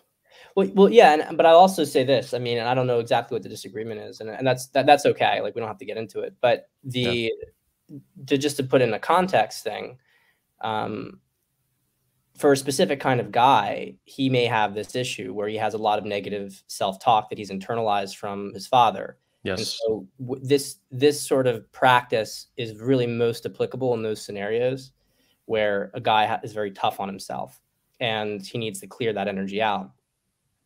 If a guy, however, is not really doing anything, um, you know, this isn't this isn't because you might have to have some of this like feminine healing energy, it's not the only answer. And in some cases, it's not the answer at all. I mean, I deal with I'm I'm very context related with my work. And there are some guys, it's like they're like, well, you know, I just want to do some more, you know, inner work and inner healing work. I'm like, well, actually, you just need to fucking do something. You need to decide that enough is enough. Why don't, don't you sell a magic pill to fix everything, Pat? What's wrong with you? Can I can I just buy one on your website, dude? Just take just take the Pat pill. Exactly. Yeah. Exactly. Yeah. yeah, yeah. I'll tell you yeah. everything's gonna be okay, right? You just have to keep taking it. Take one every day. I'm kind of amazed with the pill thing that I like actually the pill analogies, and I think they're useful in a lot of cases. Uh, they're not entirely, you know, bad, but it's like these people think they can literally buy a magic pill for 20 bucks you slap red pill on it, and people are like, "I'm going to be red pill, bro. Women are hoes. I'm red pill." It's like, dude, you just you just drop somebody twenty bucks and you think you're red pilled. Like you just bought a cheap trinket and like a, you bought like a little bobblehead is what you bought red pill, a bobblehead red pill, and you think you're like, a, like a, no, we should though. That that's what it is to me when these dudes yeah. buy when they buy a book of some fraud or you know they send a five dollar super chat or they buy this little ebook on Gumroad from some retard who can't even get laid. I mean, it's it's cringe that these dudes think they're red pill, and it's like all you've done is buy the cheap imitation of a red pill, and you get scared from people like me and like like you, Pat. They give people real truths that are really, um, like I heard it described once on my channel from a commenter in one of my videos that I was like the I was featured in. And a lot of the videos obviously are not of me; they're speakers like you and whoever. But he said when he watched my video, it was like he felt like it was the red pill being injected directly into his veins, like intravenously, because mm. I was just so intense with it. And I really don't give a fuck about anything but the truth 99% of the time. Everything else, at least, is, is far beneath that as a distant second. What is true? What is true? What is true? And that to me is what the red pill is. It has to be about the truth, not the imitation or the appearance of truth, the actual, like real truth, uh, well, factual otherwise.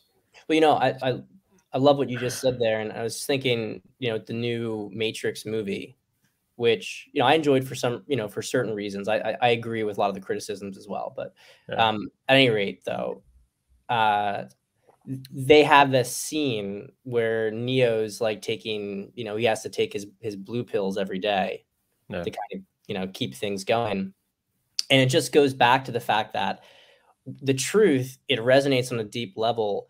You don't need to keep hearing it over and over again. Once you hear it, it shocks you to your core, right? But lies and distortions, if you're going to maintain the illusion, they have to be constantly reinforced. And that's this whole thing. It's like, oh, I'm I'm red pilled, but you know, a lot of these guys, they just are continually consuming red pill content over and over again. I mean, let's be let's be fucking honest here for a second is hypergamy really that complicated? How, how many essays on hypergamy? Like I'm the world's expert on hypergamy, and That's I can right. tell you, you do not need to write four books on hypergamy. You don't need to do it. It's it's really a very very simple idea, which is that women select for the best men. It's a natural thing, and they, you know, they they date across and up. It's basically what it is with women that they're looking for the best men. And guess what? Men do the same thing for women. They want the, the most attractive, fertile woman. We have our own version of it. And every woman is hypergamous, but not every woman engages in hypergamy in the same way. Right? One woman, the second she sees a she's fucked up, second she sees a higher status guy, she throws herself at him. Right? That's a trauma response a more healthy adjusted woman if her man is consistently on a lower level than other men she'll push it internally against him to perform better and only at a certain point then will she leave him right there's a difference it's the same kind of thing with a guy like guy is married to you know his you know he's married and his and his wife is maybe a little bit out of shape and so he's going to incur. I mean, ideally it wouldn't have happened to begin with, but he's going to be there and kind of push her towards that. To or if he's kind of a shithead, then he's he's married to a woman and he just goes and fucks any attractive girl that comes by. I mean, men have their own version of it. There's a lot of you know, I'm empathetic to women who have experienced this kind of stuff. They've by their own well, estimations been good said- wives for years, and then their guy sees a younger girl and fucks her. Right? I mean, that is a big pain point yeah. among women. That's male hypergamy, whatever the fuck you want to call it. So Socrates calls it hypogamy. Actually, he, he tries to give a name to it, to male sexual psychology and male mm-hmm. sexual strategy. But what you've done here, independent of what any other speaker like Socrates has done, is you've tried to identify male sexuality and male sexual strategy. And that is kind of forbidden uh, in the red pill wings of the manosphere, even other elements too. They don't want to talk about it. It's just all about women. That's one of the, I think, the saddest things I've seen happen in recent years in the manosphere as I continue to try to push forward with, with uh, positive truth messages, uh, truth focused speakers, and, and content that actually matters and actually moves the needle on pushing the community forward. But a lot of the communities become it's become very very blue pill what would have been called blue pill just a couple years ago by some of the same guys. So basically, it all just revolves around women now, what women want, their sexual strategy. That's all this crap is. It's all. It's actually very female centric. The hypergamy robots that believe that are just obsessed with hypergamy. They're just one example of a couple, but they're obsessed with what women want, what women think. It's all about like it's all about. That's why the hypergamy is the um, kind of like a hammer they have that's going to nail everything in the world, right? And then even if I can paraphrase Dr. Shawn Smith, if I interpret his analysis correctly, he did a 45 minute video breaking down the manosphere's conception of hypergamy, particularly from the fraud father. And basically what that guy is trying to do is use hypergamy as a paramount issue in women to the point that they're like hypergamy robots. Yes. To, to the almost to the uh, complete exclusion of other psychological factors like trauma, like their childhood, like the relationship with their dad, like yeah. any other number of you know pain and pleasure like human psychology is insanely fucking complex right? We're still at the very beginnings of understanding this. But you have this like idiot uh, cult leader try to just like turn these try to convince men that women are nothing but hypergamy robots and there's nothing else to learn and understand not only about women but even then about yourself. What is your sexual strategy as a man? What do other men do? What have men done historically? Why do we do this how does our species operate as a sexually dimorphic species? Like, why are these things important? Yeah. Like, it's it's like all that shit is just irrelevant. It's just women, women, women, women. You know, hypergamy robots. Women suck. Women are hoes. Fuck these hoes. Give me five dollars. Super chat. Like, it's just a cesspool of fucking. The manosphere is such a cool thing, but it's also become like this fucking corrupt shithole, like Ukraine. Yeah. with like rampant fraud yeah. from guys who can't get laid and don't know shit. Really don't. It's like pseudoscientific garbage. I mean, it's I need someone needs to make a whole documentary. You know, maybe I'll do that. Just mm-hmm. how retarded all this shit is. you, you should do it. You should do it. I mean, you're. I can't think of a better person to do it. You'd have all the, the, the the basis points to be able to, you know, all the citations are all. yeah. They're all there. You know.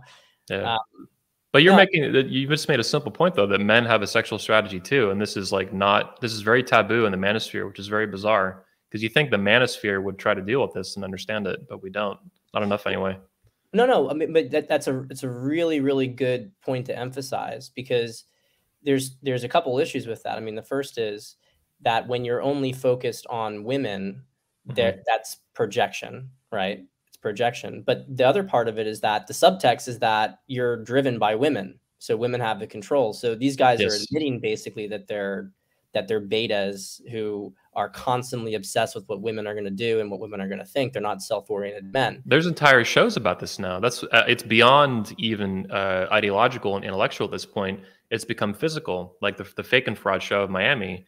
It's just all of the women run everything. The appearance yeah. is that these little dudes run it by being dramatic and throwing off these hoes or something like that, just to cause a scene and, and get views and clicks because people are sure. drama drama uh, drug addicts but really it's the women who run it's all about what the women think and what the women want. It's become extremely blue pill if 2015 manosphere was to analyze it.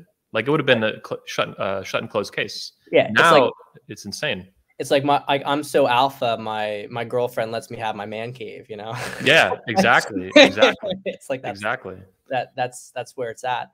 Um yeah, as men, we, need to be aware of female sexual strategy to protect ourselves from it, right? With if you know, and to understand what a woman can do, what a woman is capable of. Yeah. But fundamentally, we also have to have that self awareness because that's how we grow as individuals. We only become better men when we understand what we want, how we operate our blind sides. Like I talk a lot about Madonna whore complex yeah.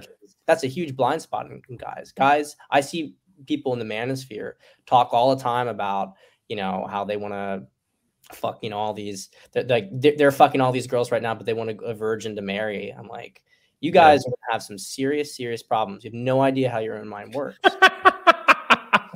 I love it. I've been through these kind of, yeah, these kind of, um, I don't know what personal struggles or just kind of like, you know, challenges in my own, in my own, how I'm living my own life. You know, even, re, even the past couple years, things are really getting out of control. As you, as I probably told you, like I was yeah. buying, you know, the three packs of Plan B at one point. That was kind of like the final straw. That I was like looking at it in my Amazon ordered list. I'm like, this yeah. is really fucked up. like, and uh, you know, there's there's there was a lot of fun to it, obviously, but it took time. And my my nephews, really, my blood nephews, to really wake me up to like how serious sex was, mm-hmm. and like just how high risk my behavior had become for whatever reason, like the challenge of it, the fun, like the the dramatics of it. It was this constant uh, stimulation game to keep having higher and higher highs. And I was like, this is going to blow up in my face with a kid who has a mother who's like some piece of shit off of a bar or Tinder or something. But this is why, you know, you're a leader, Anthony. This is why you're the president, right, of the manosphere. I mean, you are you are self-aware and you can see the things that you're doing and, and you engage with your actions and you reflect on them yeah. and you and you evolve right i mean none of these people these people are frankly devolving like yeah. they're, they're they're becoming smaller and smaller more and more caricatured mm-hmm. and you know because the, the ideology like with any ideologues the ideology becomes a constraining force on them they can't even if they wanted to deviate from it they can't at this point because yeah. Then they'll be you know it's just like the bolsheviks you know if you deviate from it then you're the one you know you, you got to get yourself taken out because now you're yeah. no longer the real red pill. they'll lose their audiences their fan base they are entirely dependent as creators quote unquote or authors or youtubers or whatever the fuck you want to call them they're dependent on you're right committing to that ideology for their fan base and the minute they deviate from it the, that fan base will turn on them like like piranhas mm-hmm. like little fucking chihuahuas like eating them alive mm-hmm. and people get confused sometimes when I, I, I do an attack video exposing somebody or something oftentimes it's because that person attacks me first first of all but not always sometimes i'll initiate an attack on someone who i think needs to be a truth an important truth needs to be spoken something needs to be exposed I might have some fun with it with memes and shit, but almost always there's a serious component to it, and the memes are just tip of the iceberg. Mm-hmm. But anyway, I'm not. Uh, I'm never beholden to my audience, no matter how how big it gets. And the bigger it gets, the more tempting that becomes, and most people just sell out. It's rare that someone like an Elliott Hulse, for example, uh, who's super savage and super authentic, gets that big with millions of fans and maintains his integrity and his uh, the ability to author his own life in his own direction the audience becomes so big and so controlling that they want to they want to control you and i don't allow that at all i call the herd i mean yeah. i'm i'm i'm fucking like grab the digital shotgun and just start blowing digital heads off because like i'm like I don't, I don't give a fuck like i'm gonna do i'm gonna evolve and pursue the truth and no one's gonna dictate to me what i think and what i believe and where i'm gonna take things and it's it's a battle because people the frauds don't have that they actually they like submitting to that i think mm-hmm. whereas i'm like absolutely rebellious like i'm I'm a warrior for the truth, and anybody who gets in the way of that will be uh, memed into oblivion. They like to submit to that, like they submit to their women. Exactly. They're all run by their women. The the Rollos, the Donovans, the Sharp Mama, uh, the Rians, the or Rihanna Stone. I love that. Mm-hmm. Uh, they're all literally run by their women. It's really pathetic, and it's. Uh, I've seen some people finally trying to help expose. I've been exposing that for a while with these guys, but it's uh, it's really it it's hypocritical to such an insane nuclear level. Like these guys who pretend to be these red pill alpha males are super, super beta. They're in unhealthy, codependent, toxic relationships. It's obvious to anyone with game that from mm. an outside perspective, especially if you've met them and seen it up close, and you can see the simping and all over the place.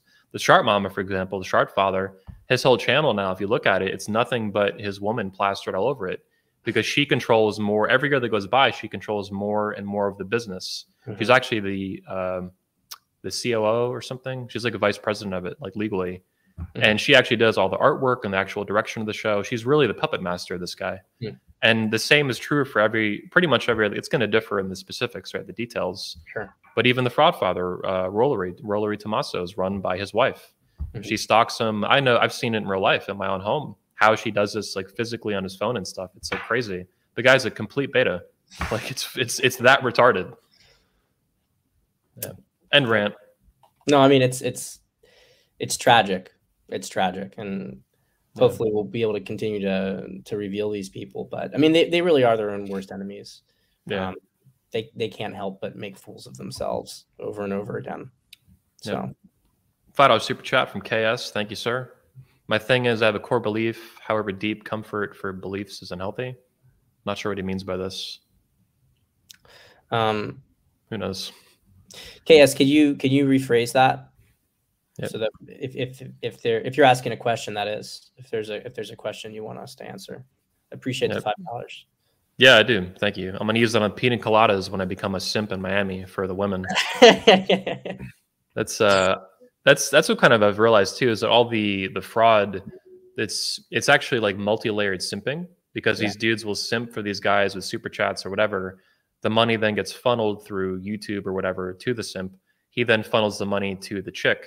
Sometimes we even have it on video, a video evidence of this. Mm-hmm. They'll like use the super chat money to buy two hundred dollar dinners for these chicks. So really, it's just this long train of simping and, and beta beta male shit. It's amazing. It's it's like just just just go to OnlyFans and cut the middleman out, dude. Like, yeah. you know, make it more efficient. yeah. Um, I want to talk more about sex. So, mm-hmm. what have you seen lately? You got a lot of weird stuff on Twitter. People come at you. You have mm-hmm. a much bigger Twitter account than me, and I'm kind of jealous because it's a lot more fun. The bigger it gets, more fighting and more more shit goes on, more conflict. Mm-hmm. Um, what have you seen lately with sex? Maybe with cheating in particular. I think you did a couple newsletters on that. Uh, like for example, should a man ever accept take a woman back after she cheats to put it uh, into yeah. a binary? Yeah, I, t- I talked about this on Tony Tony Bruno's show, which is a great show, by the way. I, am mm. sure a lot of the guys watching already know that, but just want to give a little shout out to Tony there. Um, I I really riled up his his audience um, with this one. So I don't like people have to understand. I don't like giving blanket answers to every single situation. I just don't like doing it because there's always context. I mean, if there was cheating, how did the cheating happen? What other stuff was going on in the relationship? It's obviously terrible. It's obviously terrible. And I can say yeah. personally, I would never accept cheating in a relationship. I wouldn't do, do you it. View, do you view it as abuse? Um, like I view it as sexual abuse, to be honest, particularly because of the risk of STDs, but also emotional abuse. Uh, but yeah, I'm not I, discounting context too. Like I get, I get what you're saying. No, I, I agree. I agree. It is. It is. I think it's equivalent to abuse, even if even if that's not the exact term that I would use. It's okay. it's essentially the same thing. I mean, I, like it's a, it's actually a good point you bring up. I mean, I hadn't thought of it in that capacity, but um, you know, it it is a it is certainly emotionally harmful and sexually harmful to the individual. So yeah. I suppose it fits under the definition. Um, the the the the reason I give this very very tiny caveat is that I do know in some situations if you have a really unconscious relationship, like the guy is just totally and I'll use the example of a woman cheating, right? Because we're talking to mostly an audience of men, that there is the guy is is just in denial about dynamics going on in the relationship. He's sort of not present, absentee, isn't really engaging in in his in his marriage. Let's say it's a marriage. Um, the woman's trying to get his attention. Everything's sort of shut down, and then she's she's out, and some guy takes attention to her, and she has an affair, and then maybe she feels terrible about it and comes to him and tells him that he had had an affair, or maybe she's caught, right? Um, and everything comes out. Now, probably that's the end of the relationship. However, you can make an argument, um, and these couples frankly come to this conclusion themselves, which is that, well, the guy wasn't exactly being so great himself. He wasn't sexually cheating, but he was in his own way maybe emotionally abusing the woman. And they weren't and there was neither of them really knew how to get their needs met or communicate about what they wanted and so the cheating ends up like blowing open that paradigm. Yeah. And then they're able to from there rebuild a relationship that inhibits that stuff from happening in the future. That that does happen. I know a lot of people hate to hear this stuff and they they freak out about it but that stuff does happen. Um, and you also have to these are these sound like the exceptions that prove the rule because there are some cases where this will work out. And i agree with the mechanics at least of what you're saying if not the uh i mean it, it's so dicey staying in a relationship where a woman's cheated like yeah. it's super it's super high risk but i agree with what you're saying that the basic if i can paraphrase it or reframe it in my understanding and let me know if you agree it's like the relationship was already dead it's it was a zombie and yeah. now you just like you just start shooting it and it's like you know there's fucking guts falling out it's like well it was already a fucking zombie. Like you were, you had a dead bedroom for two fucking years. You weren't getting laid. She wasn't getting laid.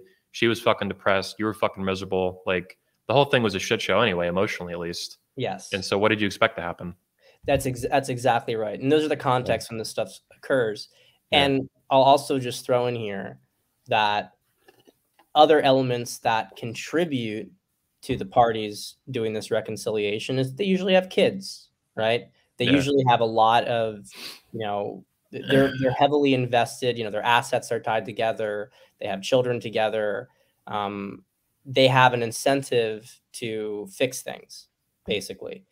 And so, look, I'll reiterate again. I personally do not like that. That stuff was made very clear from the beginning, and I've never been unconscious enough.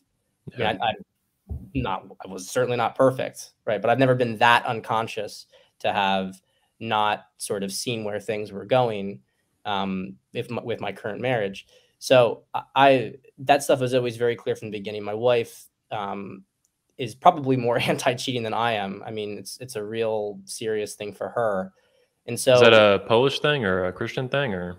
Um, I think it. I think it's more to do with some other things in her background, basically that okay. um, you know family etc that she that she has like a very negative uh, association with it i mean it's bad thing i don't yeah. have that level of negative association i'm like yeah it's bad to be honest like if if it were to happen to me i'd obviously be upset and i would end the relationship yeah but i wouldn't have this sort of like fuck you you're the worst person i would honestly be like man you really fucked up like you really fucked this up.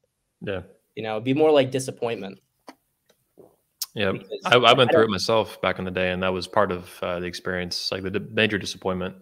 Yeah, it's it's dis- it's disappointment, and it's and it's also like a level of you ruin this for yourself because you know we had a really good thing, and you and you just you destroyed it.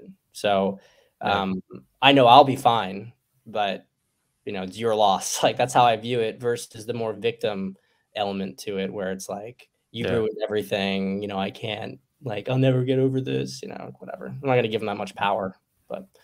We got a done super chat by the way from Stephen Pope, five dollars. Thanks, bro. I promise not to spend it on pina coladas for fat women. Anthony, will you please do a show with Pat and Tate? I think he means Andrew Tate. Mm-hmm. I think it would be an extremely interesting conversation. I do too. That'd be pretty cool. Yeah, I think it would be very interesting. You know, what I what I'll say, and, and I've I've talked to some clients about this stuff. Um, I don't think I, Andrew has a completely different philosophy towards these things than I do, right? Mm. Um, but I don't think that he's wrong. I just think there's a. It depends on what you, what what is your relationship to um, women and and sort of having children, etc. Um, there are two kinds of successful relationships, and one is very psychological and deep and intimate. It's kind of more like classical, I suppose you could say. Um, you know, modern Christian kind of relationship, right? There's a lot of clearing it like you know getting closer and closer to each other and clearing out all your crap with each other and you know you kind of get yourself revealed to the other person okay whatever that's the sort of relationship that that i ascribe to and those are the sort of women i like to date you know that i could develop that sort of deeper intimacy. It's important to me. There are some guys who just don't really care about that. It doesn't matter at all. Um, and the, when these guys are more powerful they're what they're looking for is they're looking for a girl who's going to be attractive and feminine and not drain their energy right? And if you're a guy and that's what you're looking for you're not looking to get like really close and deep and intimate with a girl then you know that like i, I think that andrew's approach to things is completely completely correct you know and i actually think in those for for his value system for his value system. Yeah, I mean, yeah. you know, he's I, I don't I don't know exactly the details or anything, but I do think he has a couple different girls who have his children, right? Um, I think allegedly, I allegedly, allegedly, allegedly. I think I heard something. Yeah. About, I don't know, allegedly, right? But the point is that, like, if that was how I viewed things, he's going about it completely the right way. You know, yeah.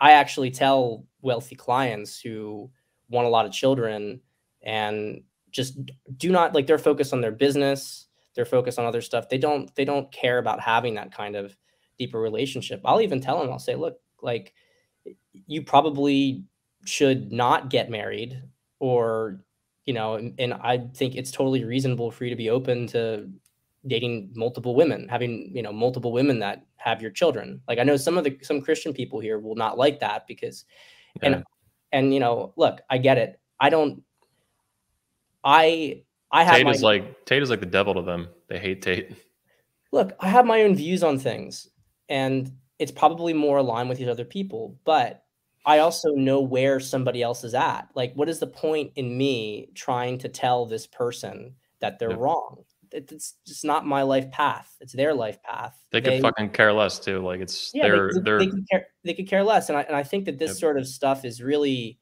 it's unproductive and it actually makes it makes them this like have less respect for you. I think it comes across as desperate for you to try to force your values on other people like mm-hmm. you should let them express like I mean, look, I'm not tolerant of a lot of the degenerate shit going on today. Um, but a large part of this stuff, and the reason it's become such a problem is because this isn't like back in the 80s where you had, you know, a couple of you had like a gay community and they go out and they do their thing and that was sort of it and they were they had their own little red light district now it's like they're coming after your five year olds. It's a very different situation, yeah. and they're doing it through sneaky means. It's totally different, totally different shit versus, um, you know, some guy who's got money wants to live his life in a different way. He wants to live it, frankly, like a lot of powerful men throughout history have lived it. Bingo. Well, you know, you got a you got a problem with that? Go fuck yourself. Honestly, like he's not like there's no reason for anybody to be criticizing him in his actions. Playboys and alpha males are a story as old as time. These Casanovas yeah. and whatever the specifics of it are. Yeah, I have no problem. I love Tate. I think he's fucking great. I don't agree with everything that he does, but I understand yeah. him. Even when he, you know, he he gets along, for example, with like the fake and fraud, uh, you know, podcasters. I don't really give a fuck. Tate's not stupid. He knows what they are. He sure. just wants to make a bunch of money, business and I don't really. I, yeah, business decision. Yeah, and I don't really fucking care. I'd rather he gets because I like him, and I think he's a pretty legit dude. He's a fucking legit alpha male not these these phonies that fuck old fat women. And he actually has game, is actually strong, is actually masculine. And so I'm like, I'd rather he get these simps money than these pina colada fucking simps that buy pina coladas for all these fucking Miami skanks. Yeah. I'm like, the money's going somewhere. It's either going to this fat green haired skank in Miami or it goes to Andrew Tate and his brother. I want it to go to Andrew Tate and his brother. And if they're going to be hanging out with these guys, then who gives a fuck? Whatever. And and let me just also say this: I think it's a it's a good like tying everything together. People need to focus on who is the real enemy right now. Like, yeah, it's is, not Tate. And not it's Tate. not Tate. It's not Tate. I, I get really, I find it really, really tedious when people get butt hurt about this kind of stuff. It's yeah. like focus your attention on what really fucking matters right now. It's not Andrew Tate having a couple different girls that he hooks up with. That is that is literally the least fucking important thing in the world. Learn how to build alliances and focus on what really matters. Andrew Tate is not coming for your children. He's not trying to groom your daughters. Bingo. So yep. Yeah, he's not trying to force, you know, uh Covid shit into your arm, and he's not trying to bankrupt your country. He's not trying to bankrupt your country and genocide your future children and obliterate your currency to hyperinflation. There's a lot bigger fucking problems out in the world. He's not a feminist trying to, you know, chop your balls off with castration laws. Like there's yeah. all kinds of crazy shit in the world. And yeah, he's not part of the problem. I think he's on the side of, I think Tate's on the right side of history, even oh, if he's 100%. this kind of playboy alpha male, uh, loves power and money. Good for him. And, and, look, and look, i will just speak very plainly about it. I mean, Andrew was was there for me when most of the manosphere was pussing out. Yeah. Um, after my arrest, and so, look, I'm a loyal guy. I understand loyalty, and um, I'm not going to frankly tolerate anybody trashing him. So. Yeah. Good. Yeah. Fuck yeah. We can move on to some other subjects if you have more time. Uh, yeah. Yeah. Okay. I'm good. To, I'm good till uh, about two o'clock. Okay. Cool. Oh, good. Yeah. Yeah. Yeah. Although, let me let me hmm. go take a piss real fast. Okay, yeah, go for it. All right, boys, we uh, just got me for now. Let's look at this red pill chameleon, Jennifer Molesky. I saw someone bitching in the chat that she was a chameleon. chameleon in the house. Of course, the dude has a pig uh fucking face. This it's always this, right? It's always some retard. In the meantime, you guys should check out uh, his website, which is here, patstedman.com. Definitely check it out. It's pretty dope. I have heard a lot of good things, like I said, about his uh, masterclass, which is down here. And I can personally attest to his coaching, which you can apply for consult here. And of course, I'm going to sell you guys some more shit while we're waiting. So buy some hats. Uh, we do also have, and we're in the process of putting up the uh, animals the uh, stuffed uh, pigs and the bears and shit. You've probably seen. I got a couple around me. There's like one up in the background. Uh, when you guys buy these hats, it supports the channel. Uh, it's nothing major. It's much more important to you know be a member at 21university.com. Uh, attend the 21 convention. You know, go to our events, 21 Summit, 21 convention, Patriarch, 22 convention, all this kind of stuff. We appreciate it big time. As you guys know, a few months ago, we were booted out of the YouTube partner program, banned temporarily and took a bunch of money. We ended up getting it back, but your support matters. Welcome back, Pat. I was just slinging hats in the meantime. Nice. Yeah. No simping. Don't simp for the frauds, but you can simp for 21 Studios 100%. yep. It's not simping, it's supporting, right? Exactly. Exactly. It's, and look, actually, you know, wearing these hats around is a is a statement. It's a statement. Oh yeah. I mean, um, you know you're you're creating tension when mm-hmm. you do something like that. So it's definitely not a ballless move to buy yeah. one of these hats and, and, go around with them. Dude, people love this hat. I mean, oh, well, I just got this one new, but all the hats like it. You know, make women great again, 100% toxic masculinity. I wear them to, especially to the political events like CPAC, mm-hmm. for you know Trump speaks and Ron DeSantis and all these people. And there's people in the hallways that just stop me to take pictures. Like they love it. They're I, I had Nigel Farage. He loved Michael great again. Said mm-hmm. that you know right out loud. I took a picture with him. I got to meet him, talk, talk to him a little bit, and it, it, you'd be surprised how receptive a lot of uh, probably not like the lefty Democrats, obviously, but a lot of Republicans and conservatives and libertarians they love this kind of stuff. I think um, I've been thinking lately, not to go on too much of a tangent, but a little bit, that all the the heat from the federal government on the manosphere, whether it's Department of Homeland Security, um, special agents like Amru Amru Fraudel, uh, yeah. uh, infiltrating the manosphere to subvert it and destroy it, uh, with this podcast or the Secret Service putting out a huge document about it just a couple days ago. I think they're terrified of the manosphere positively influencing conservative politics and pushing it to be more pro man, pro masculinity, pro family.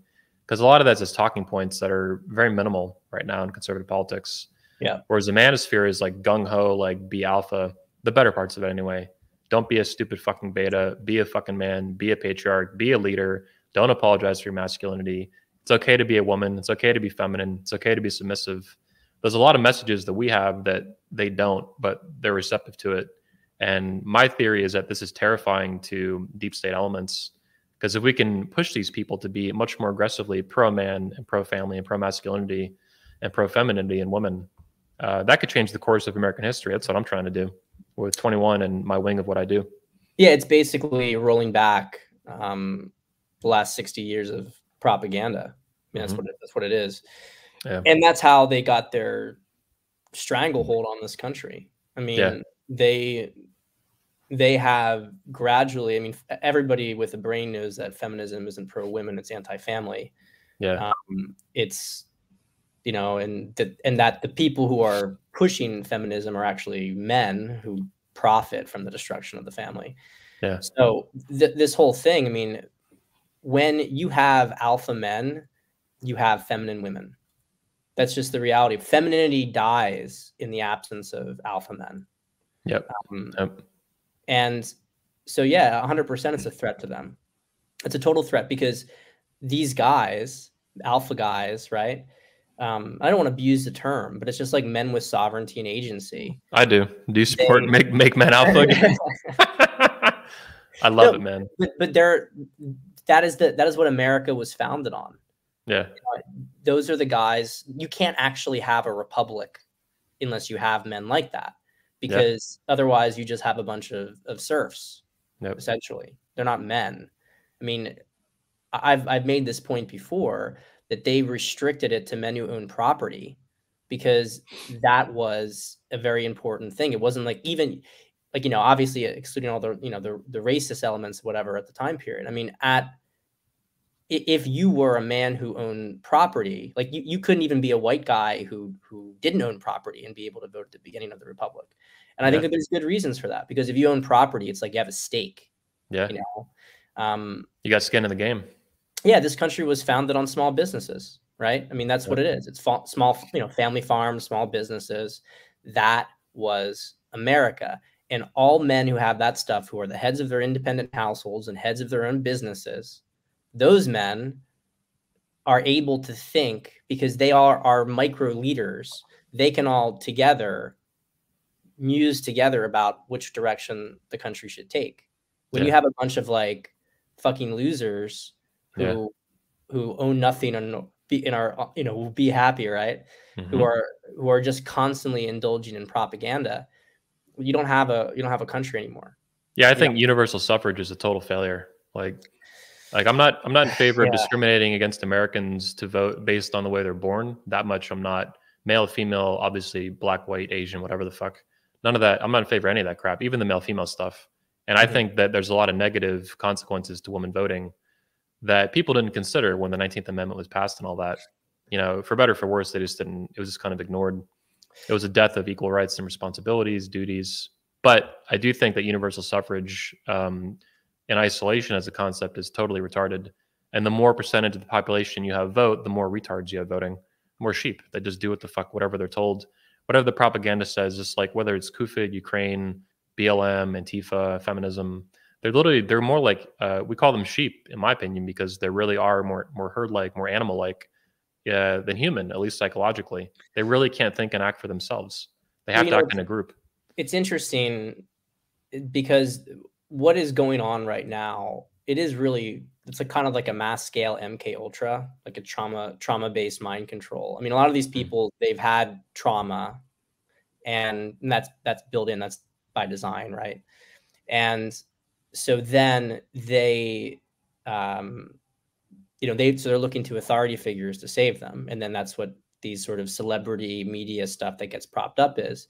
And then they become addicted to looking at what the authority figure tells them even though it actually just causes them more pain they get more and more abused.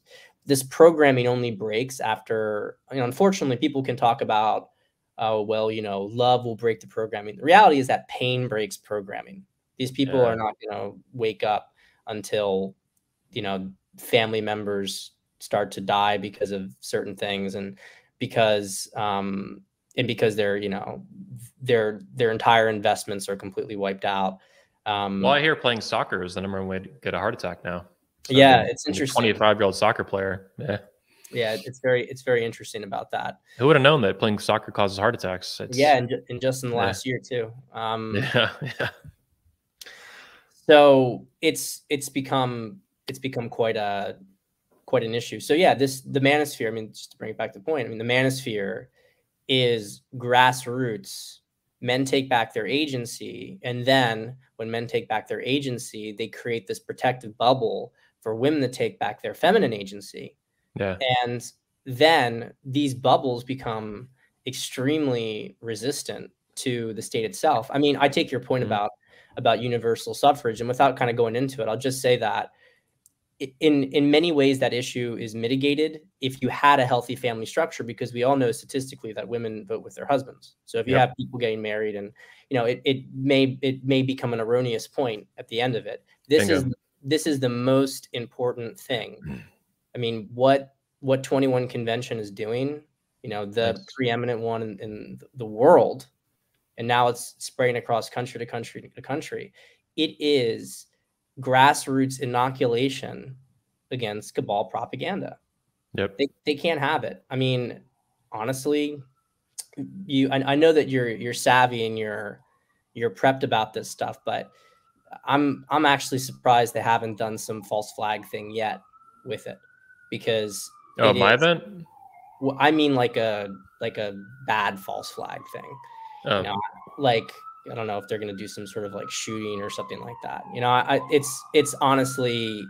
Why do you think I have so many guns at the event? Yeah, no. You you have to be totally suicidal to try anything stupid at 21. Yeah. Like you will, someone will shoot you basically. and that's Yeah. by design. It's a it's a um, what do they call it? It's not intimidation. It's a like a warning. There's a fucking word for it. I can't think of the fucking word right now. Deterrence. The deterrence, yeah, bingo, duh. It's a deterrence, and that's why that's part of why 21 is both the greatest and the safest event in the manosphere in the Mhm. world for men, because there's a bunch of guns at it. Like four, I mean, in 2018 we counted like 45 Yeah. uh, different people carrying handguns in the room, and this is that's what we that's just what we could know, what we what we knew. Yeah. There was probably that event. It was pretty big. That like had like 230 people at it or so. Mhm. It was bigger than usual. But there's probably another 20 to 30 handguns in the room that we didn't even know about. Some guys like Tony carry two guns. I Yeah. just carry I carry one. I keep it simple. And we have, you know, law enforcement I hire. So like, yeah, It's true. someone at some point could try that, but whoever it is is they're just yeah, they're just gonna die. Like and, and that's actually I, I didn't even think about that, but I I do Yeah. that from the convention. Yeah, it's it's that that that wouldn't that wouldn't get anywhere. yeah. um, I mean it would hit the news and be a thing, but I don't really I'm not worried about it. I care about people's safety. The people Yeah. who are innocent, which is everybody in the room who's not a false flag piece of shit. And you know, if I have to, I'll do it myself too. I'm not Mhm. afraid to uh, take out to, to do what needs to be done to protect the safety of my customers and myself and my friends and my speakers. And that's really rare for a conference organizer to actually carry a handgun. And while I'm not licensed security or anything like that, I don't need to be to stop a, fel- a violent felony in action. Sure. And I'll do it if I have to. I'll fucking do it myself. Yep. And all these frauds have none of the balls to do that. They would never say that. They would never do it. They would never carry. And even the other manosphere events that I have less of a problem with back in the day, like there was Man in Demand a couple years ago, 2016. There was the PUA Summit. There was the dating conference up in New York. Mhm. Uh, there's been like fucking 10 of them. But none of them were pro Second Amendment, pro gun, pro safety, all that shit. They had no care about any of that stuff. These fans for years, they'd be like, hey, bring 21 to California or New York. And I'm like, never, because I can't carry a gun and I ain't doing it where I can't carry a gun unless it's impossible, like, uh, you know, London and. Sweden, Yeah. foreign country. Uh, at that point, I'm like, whatever. But that's why we've only had 21 in America, in Florida, and Texas, Mhm. because I always carry a handgun when I'm in America. And if I can't, then I ain't fucking doing it. Yep. So, Yeah. And rant. No, yeah, I mean, so the manosphere is it's it, it is this it's a it's very very important. It's very very important what's being built here, and Yeah. I actually think you know I, I'm I'm an optimist. I'm a realist. You know, I I'm I know what's going on Yeah. um, in detail, but and I know how bad it is, and I know what the plans are to make it worse. But I'm an optimist. I, I see people waking up. I mean, it's we get frustrated with the sheep, but it's a gradual process. More and more, every single one of these little turns they take, more and more people get sifted out, thrown out of their of their little you know merry-go-round. Yeah. And um, in this community is here to pick up many of these guys Mhm. and dust them off and and get them back in the fight on the right side of things. I mean, we will take back the country and gradually the entire Western world. I have no doubt about Mm. that. I mean, we are going to have some pain ahead, no question, but we will get through it. And But but to do this, men need to get their balls back, and women need to get their eggs back, if that would be a way to put it. and the manosphere, I think, is key to doing this. And the political conservatives and shit, even the most hardcore ones, are not. They don't have the like. They don't have the time, attention, and intellectual background to do it. They're just they they get the Tucker Carlsons and uh, some of the people. They get that there's like a masculinity problem in America and it has links to family and stuff like that but they're not really they don't see the big picture of how fundamental the prob- this problem is and how it's driving political issues like uh, that we've seen in recent years and you know even Covid stuff Well, you know, th- that's been called the gynocracy, right? I mean, even in the conservative circles, while the left has certainly been the one that's pushed this paradigm, it's the cons- the conservatives are of course only just a few steps behind, and they're mostly operating under you know um, superficialities, right? yeah Like, like if and Michael Foster talks about this all the time, but I mean, love that guy amazing yeah, he's amazing, amazing. Um, when you talk about okay, like well, you know, we need more more Christian Christian families and Americans become more Christian. It's like okay, well, what does that mean? What does that mean? Does that mean because a lot of what's going on in these churches are completely feminized? I mean, Yep. I'm a Christian, but I see what's what's going on with that. It's tough to find a church the cucked that you don't have. Yeah, you don't have a cut pastor, and like the stuff that they're teaching is in, in many ways completely, you know, I would say inverted in many ways from from what's supposed to happen. Sometimes they mean well, sometimes they don't. But either way, they're both misled, and you have weak leadership. If it isn't even male leadership, it's it's weak and it's um it's run by women whether whether physically run by a female preacher which is becoming a thing a pastor or it's just a beta male cuck pastor who's run by the women in the church or his wife or whatever yeah. Which is the opposite of what Christians should be promoting and should be doing and have for a long fucking time. So yeah, it's it's sick. It's like run by Pastor, you know, Jack Murphy's, you know, basically at this point. yeah, there's a fucking guy. Yeah. But yeah, it's uh at, at best Republicans promote like beta male masculinity. Yeah. Like how can how can you be a better slave to your woman and your wife? And it's like, man, you're not even close, bro. Like I get that you think there's a, they have at least a little bit of you know uh, lip service to masculinity in some cases, but yeah, it's really I think the man I really do think this is one major possibility. Of the federal government being hostile to the manosphere is they want to they want to nip this in the bud before we can influence them much more so. Yeah, but they can't stop it. But they can't stop it. It's yeah, it's they pushed it too far, and there's there people are organically having responses to it. Yeah. Um, you know, I, I, good fucking luck. Good fucking luck, feds. I mean, these these guys are they're not they're not gonna they're not on the right side of history, and times times running out. And I'm not I'm saying also I'm in, I'm insanely persistent personally, as you yeah. as you know, Pat. So like I'm I'm gonna just keep uh like the letter that I'm doing as just kind of the beginning of uh, other legal mechanisms and put you know buttons I'm pushing. Yeah. And I'm just you know I'm relentless and uh, they should be worried because not physically or anything like that. No, no, not physically. But but legally and and uh, morally, we'll say, I'm an expert at, at making people upset and angry and, and ruining uh, their daily day to day life. It just yeah, you know, I mean, causing trouble. What I'm trying to say is they're just not going to be able to succeed in manipulating and threatening people. Like people are exactly. Yeah, that's that's all we're that's all we're saying here. That's why I like guys like Michael Foster is like the guy is a devout uh, a really devout Christian and faithful to his God and his and his religion and his beliefs. And that means, in my view, he's and in my my honest interpretation of the guy is he can't be compromised. Yeah. And I'm the same way, gung ho for my beliefs and, and all that, and especially for the manosphere and its importance. And you can't bribe me, you can't threaten me, you can't intimidate me, you can't uh, compromise me in any kind of fucking way. I don't give a fuck.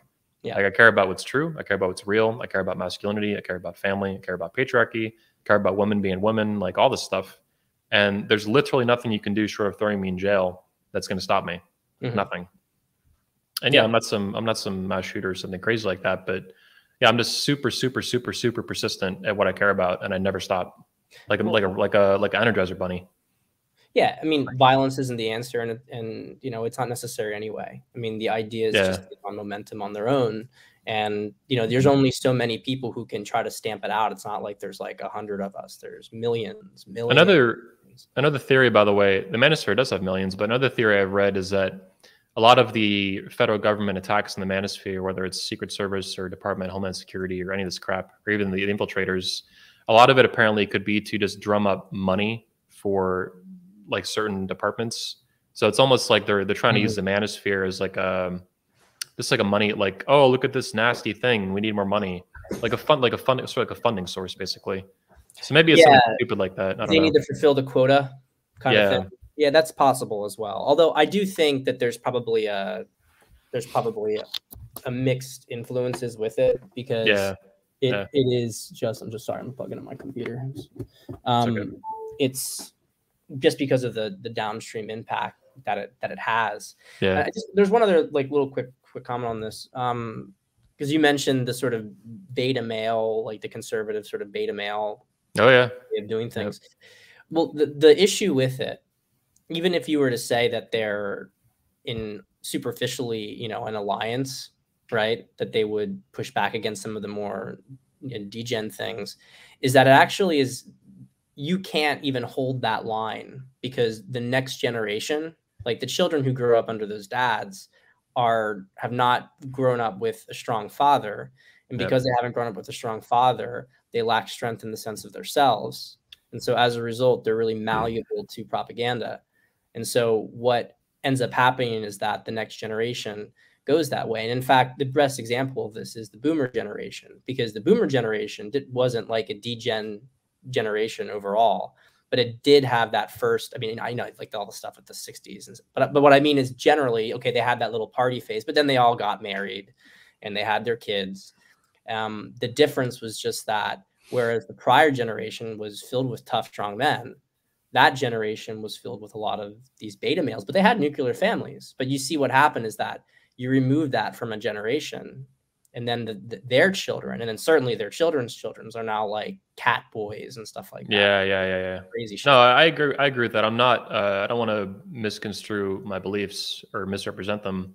Like I'm not in favor of giving these people a free pass because they give cheap lip service to Yeah, a little bit exactly. to masculinity. I'm not into this same team bullshit. Like don't attack them. Like no, that guy's a that guy's a beta male loser.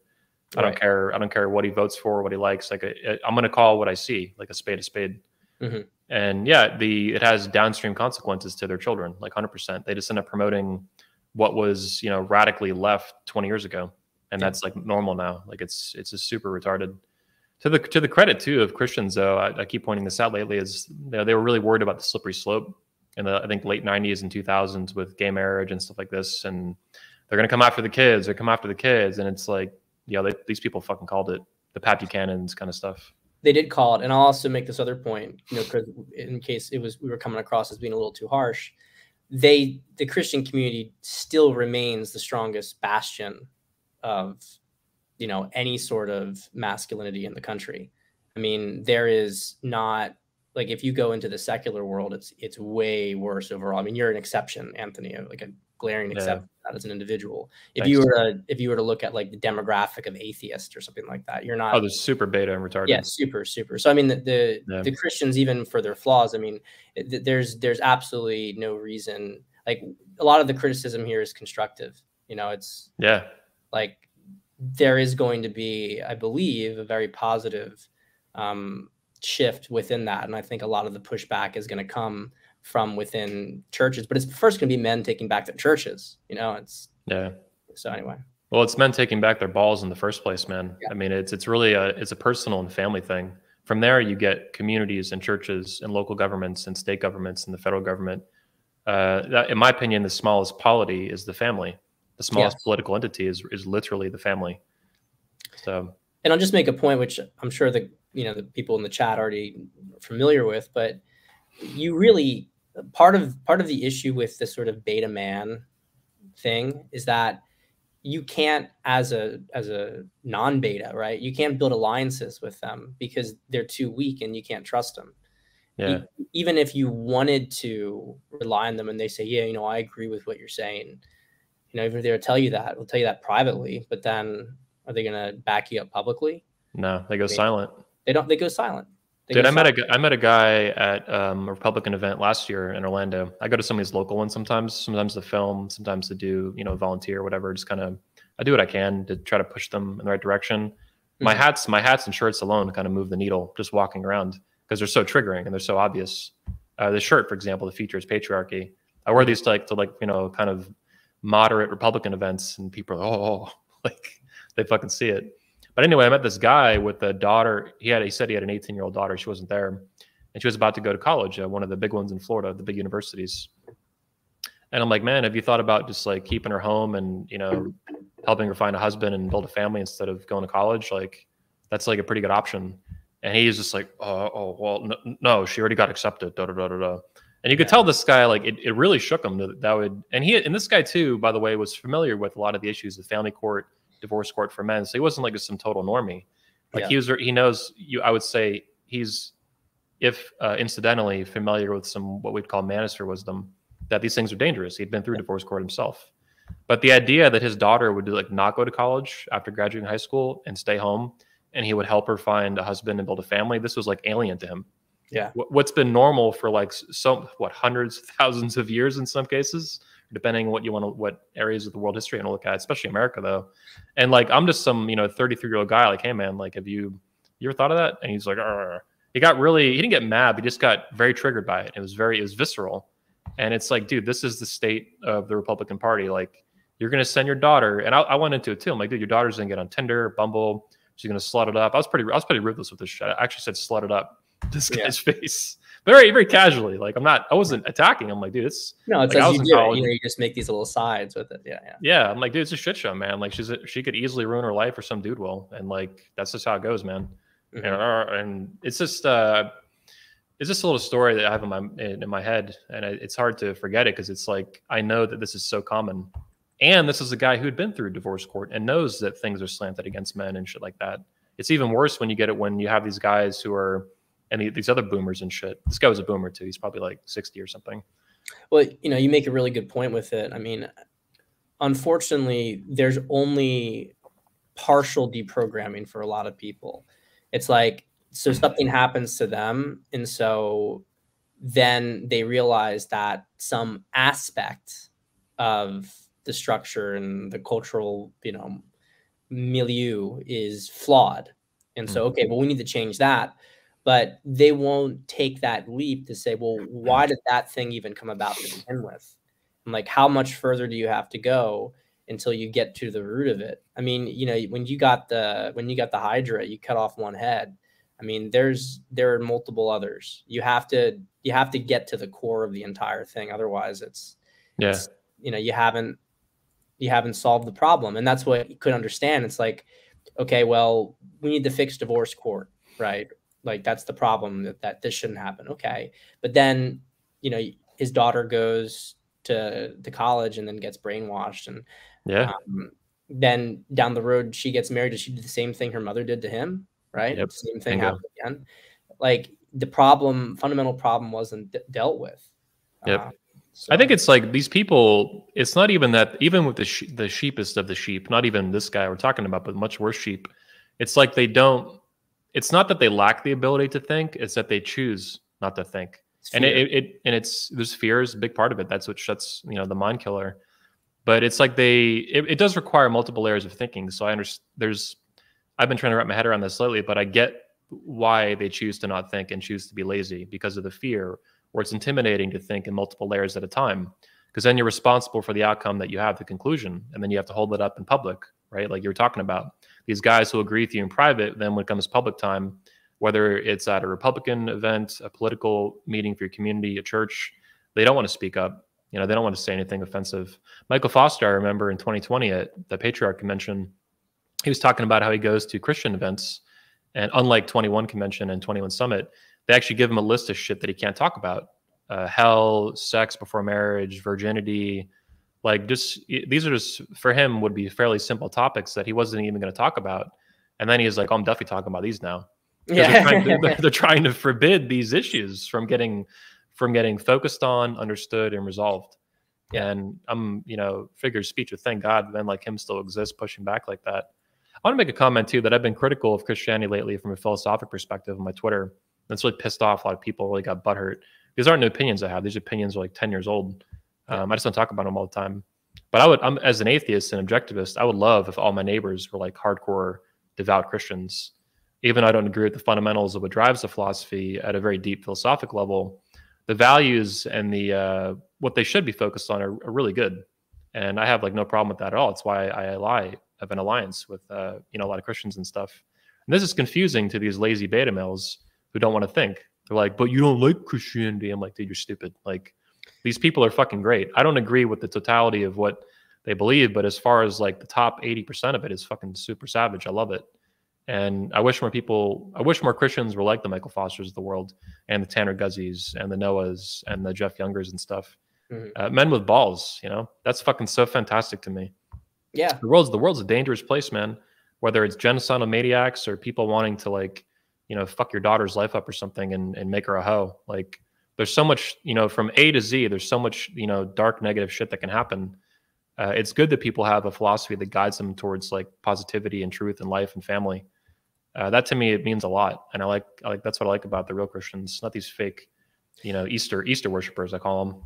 Yeah. I mean, and look, I'm not, I'm not a, a pastor. And so I don't, you know, want to claim certain things that are maybe outside of my element of expertise, but Sure. I mean, there's been this massive feminization of Jesus, you know, yeah. as sort of like, you know, like he was just super compassionate to everybody. Well, he was compassionate, but he was also fucking fierce. I mean, he went in the temple, kick over fucking tables and stuff. He'd rebuke people to their face and tell them you're you're basically a fucking retard. I mean, in parlance of that time period, yeah. he'd do it over and over again. I mean, you know, if you're willing to to you're so firm in your own beliefs and your message that you're willing to get yourself crucified to prove a point, uh, that's not a pussy right? Yeah. That's not somebody who would be afraid to, to, you know, to call it like it was. Yeah. And what we have right now is that, well, women, you know, I talked about earlier in here the masculine and feminine healing. I mean, Jesus was both, my perspective. He embodied both of them and he understood the context of using them. You know, people who were being unf- maybe like judged when excessively to give them the compassion they needed that, to be able to heal. And then would throw the, his own judgment on people who deserved it and who were hiding behind their moral superiority. Yeah. But women, this sort of feminist rot that's infiltrated the entire culture, women don't like being called out. Yeah. It's a feral sort of dynamic because it, it hits right to their core issues. They don't want to have the self awareness. They don't want to they don't want any of that stuff. And so, consequently, Christianity, in order to evolve, to survive in this sort of anti male, hostile environment, necessarily, you, should, you could say, became more and more feminized so that it could continue to operate as this sort of controlled opposition. So it's like, oh, see, we're still Christian. Well, go back to a church 60 years ago and see what they were saying compared yeah. to now. It's not not the same Christianity. It's just window dressing. And so anyway, yeah. I, I agree with your point too. By the way, I want to move on to sex in a minute uh, before we wrap up the sh- end up the show. But uh, you mentioned that uh, uh, the Christianity is still like a bastion of Christianity in the churches and stuff. A lot of them are still bastions of masculinity, at least compared to the rest of the culture. And I think that's pretty accurate.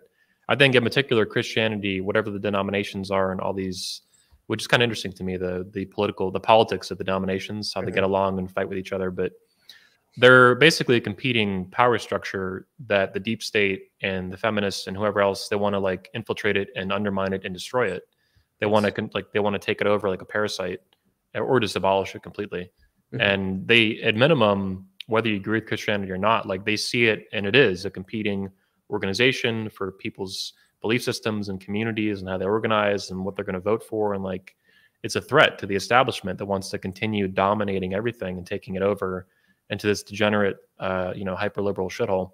Mm-hmm. and yeah i'm i'm all for it. I hope these people succeed. They, they their fight the michael fosters and whatnot at the and the reverend the jesse lee petersons yeah it's sick what a lot of it's become. But i do want to move on to yeah, sex. yeah. Yeah. So one of your newsletters i just opened. It it's one of the few i didn't get to opening uh, on, the, on my I usually open all of them and kind of scan through them. This one is how often should you be having sex? So I do want to talk about this question in particular, sex in general, for a bit. Uh, my answer to your question of your newsletter, by the way, since you you emailed it to me personally, right, with the newsletter. um, my answer is that you know, in a relationship in particular, you should always be having as much sex as the man wants. He should be leading this. Mm-hmm. And if it's not about dictating it it's more about the man being the sexual leader and he he gets what he wants because he's the alpha and he's the dominant in the relationship. And this is how things generally naturally need to be. And if they're not it's going to be it's just going to be a slip and slide to hell. Like it's just going to fucking fall apart. So some people think this is like you know this is abusive and you're domineering and this is nonsense. Like women women might want to fuck you know less than you more than you but as far as what actually happens, it needs to be you directing course of it. And it also too, I've been thinking that if a woman doesn't want to fuck whenever you want to fuck, then you have much bigger problems in the relationship. And most beta males have no awareness of this at all. Well, you know, to the to the people who would criticize what you say, I mean, first off, women are women are attracted to men who desire them, right? Yeah. Mm-hmm. Like women are very, very much turned on by desire. And a lot of the seduction um, and even the manosphere has kind of gotten that twisted because everything, you know, they it, it's it's become like even even pickup. I mean, you can kind of see how things slid down the way they did in some elements of the manosphere because even pickup was really about making yourself desirable to a woman in many ways which is Um, itself very feminine behavior, fitting, Right. you know, Right. form fitting like a vagina. which is interesting why you know not to get into too much in the history of that stuff but how it it sort of evolved in cities which were more feminine environments so it was a way of men getting laid in feminine environments right Hmm. um, at any rate though so what you have with within a, a relationship i mean at that point a woman is interested in you otherwise she would be in the relationship presumably right Mhm. so your desire for her is arousing to her even Yeah. if she doesn't come every time, it's very psychologically arousing for her to have that happen. She Um, needs to know that you're attracted to her, that you're aroused Yes. by her. Yeah. Yes. And so the reason so in so I think that what you're saying is com- is completely correct. Like they you should have sex as much as the, the man wants to have sex. But here's a caveat. Here's a caveat. And I think this may be something that a lot of the listeners on the on the fence get value out of. A lot of men want to have sex more not because they actually want to have sex more, but because it's a matter of ego and validation for them. Hmm. And so if a guy is trying to sort of take back his balls and take back his agency that, you know, he's a guy who deserves to have sex, if he listens to stuff in the manosphere and you hear some guys talk about how like, yeah, I get, you know, sex every day, or we have, you, should be having sex twice a day. And so he thinks to himself, he's like, I'm not alpha unless I have that. Clarity point. I don't. Uh, my opinion on the prescription of like n- n- quantity, like this is, it has to be literally whatever you want. If that's if you fuck twice a week and that's all you want, then that's good. If you Yeah. want to fuck every day or twice a day, that's up to you too. And to me, there's no the difference between these uh, numerically is big, but psychologically and for the health of the relationship doesn't matter. For the for the most part, There can be Within reason, yeah. within, reason. Yeah. Yeah, it, it really is like whatever you want needs to go, and if that's every day, good. If it's once a week, that's up to you, bro. You know, especially Yeah, if you're so- old, like whatever. So, so guys need to really be clear about how much do they want to have sex. And I so I Yeah. talked in that newsletter. I a lot of it is about tapping more into the actual energy within the relationship. What's the sort of dynamic? Um, Mm. If you guys are connected, how much you, you want to try to connect with her more and more. Um, I don't mean that in like a you know like share your emotions kind of thing. I just mean connect, like be with each other, be with the energy, have there be Look at this. Look at his avatar. I don't even know what- it's like a Lego of uh, oh a god, samurai with a gun. God, I don't that's know. So, that's so. I love it. I That's love so- it. That's so fucking funny. Um, so a guy has to get in touch with that actual. If you get in, in touch with the sexual flow in the relationship, then you want to be having sex based on what that energetic dynamic between the two of you is. You know, I don't want to overcomplicate this. It basically ends up being what Anthony's talking about: how much you want to have sex. You're turned on by her, you want to fuck her, but you guys have sexual tensions between the two of them. You do it it's not that you're approaching sex from your head where you're like oh like we didn't have sex in two days i have to have sex today otherwise i'm a beta you know so then you try to force it and what happens is that it gets all disjointed Yep. and that is actually why a lot of women when they hear this at first br- brush like oh you know you want you're just trying to dom you know be domineering with the woman that woman is imagining this guy who's using his ego Yeah. using her as a sexual object for his ego rather than a sexual object for his genuine desire. Yes. So that is the the big cri- critical distinction here. And it- Bingo. You do it whenever you want because of the desire. It's want is desire. And this is it's it's accurate to your wants and desires, and she has to submit to that. yes, And that makes her happy and it makes a good relationship. If she ends up desperate and horny all the time, well, whatever. Like, Well, well, well, look, you know, the, I like I like kind of teasing and torturing women within reason. yeah, no, no, I know, and that, and that, and Yeah. that's good. I think it's it's good within reason, you know, because that actually amps up the tension. Exactly. Um, exactly. but women who don't want that i mean very often it's because like they actually do want the connection but it's a defense mechanism on their part Yeah. and so you have to de- like once a woman realizes it's a defense mechanism like her not letting Yeah. herself receive it's almost like her rejecting your desire Well, she's never had it before either. Women like that. They this is that's part of the reason I think any girl who, who bitches about this kind of stuff, it's like you've never had like really good sex and a really good relationship. Like you don't you don't know. Yeah. They have no experience with it. Yeah. yeah. And and I do also think that some women there's like a self-esteem element like they won't allow themselves to yeah. receive that that and they have to clear out that shame that they actually do deserve to have it and yeah. and that's something that a lot of women consciously will deny but if once they get really honest with themselves they're like wait a minute. All of this connection and intimacy i said i wanted now i'm i, I get if i just drop this like i don't have to have sex. I don't have to have sex you know kind of thing. It's like actually i wanted to have sex. What the fuck was, what was i doing? Yeah. you know? and so that's a big shift. I will just make this little last comment though and i said this in the in the newsletter. Um, I do I do think that if you're a you know a young man, like there's a calibration based on your age, on mm-hmm. how much on a health level you should be having sex. Like, and I and I think that while we can talk about this, oh well, you know, you don't have to. Maybe you only have to have it twice a week. Okay, fine. But when you start to get beyond like every other week, in particular, I mean, at that point you can say you have a like no well the marriage is really is good right uh, you know it's it's probably you guys care about each other but you're not stimulating sexual tension. There's you're letting desire kind of collapse and you're um you're too much on the comfort side. There's not enough slowly like, slowly yeah. Yeah and, it, and over time that will start to atrophy the relationship itself. Yep so Bingo. there is there is a minimum like it doesn't have to be twice a day it could be twice a week versus twice a day but um, if you're not doing it at least twice a month, I think you're you're really I I personally think you know yeah. once a week is really what minimum minimum. minimum yeah. Yeah yeah the bare minimum. Yeah and I think even at, at at those kind of levels too like you're talking about these guys making excuses for like these low these low sex relationships at that point I would start to think like your nutrition your diet you need to get your T levels checked you need to get your get like a typical like blood work done because at that point I would I would actually worry about your physical health. Yeah, I agree. Ca- causing relationship problems, and you're just, you're like, oh no, we're totally cool. It's like no, your your balls are shrinking up, bro, because you eat fucking wheat and soy all day, mm-hmm. and then you're just making excuses for not banging your chick more than once a month or something. hundred percent, hundred percent. So yeah, I think sex is fucking fantastic. Uh, I'm glad we can talk about it openly. And that's how I know you're like a legit dude. One of the ways, if, you, if I've been thinking lately about how to spot frauds better, to teach people how to spot frauds better. And if you notice, like all these manosphere frauds, I think you'll agree with this, but let me know.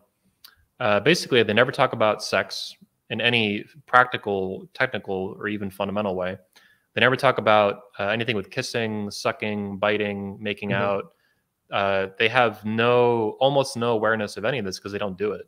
Yeah. If they are if they are getting laid even a little bit by paying for it and you know Harvey Weinstein kind of tactics and whatnot, like we see now sometimes with these frauds, uh, it's very beta sex. Like it's not fun, it's not exciting, it's not masculine. There's no tension to it.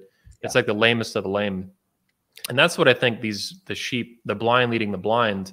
This is another element of it. Is that look these guys they don't talk about fucking women like in any meaningful way because they really don't either they're literally not or they're not fucking them in any way that can be uh, that they can then instruct you or even talk about it openly and that's why they don't because they have no fucking idea the sharp mamas and the fraud fathers and all this shit like can you imagine Rollo Tomassi banging his wife like you gotta be kidding me like it's it's gonna give you nightmares but that doesn't really happen because yeah. because he's a beta male and she runs his ass the same is true with the sharp mama the same is true with the fake and frauds and on and the, the Rian Stones like, can you imagine Rian Stone, like, you know, banging his wife really hard and having a great time?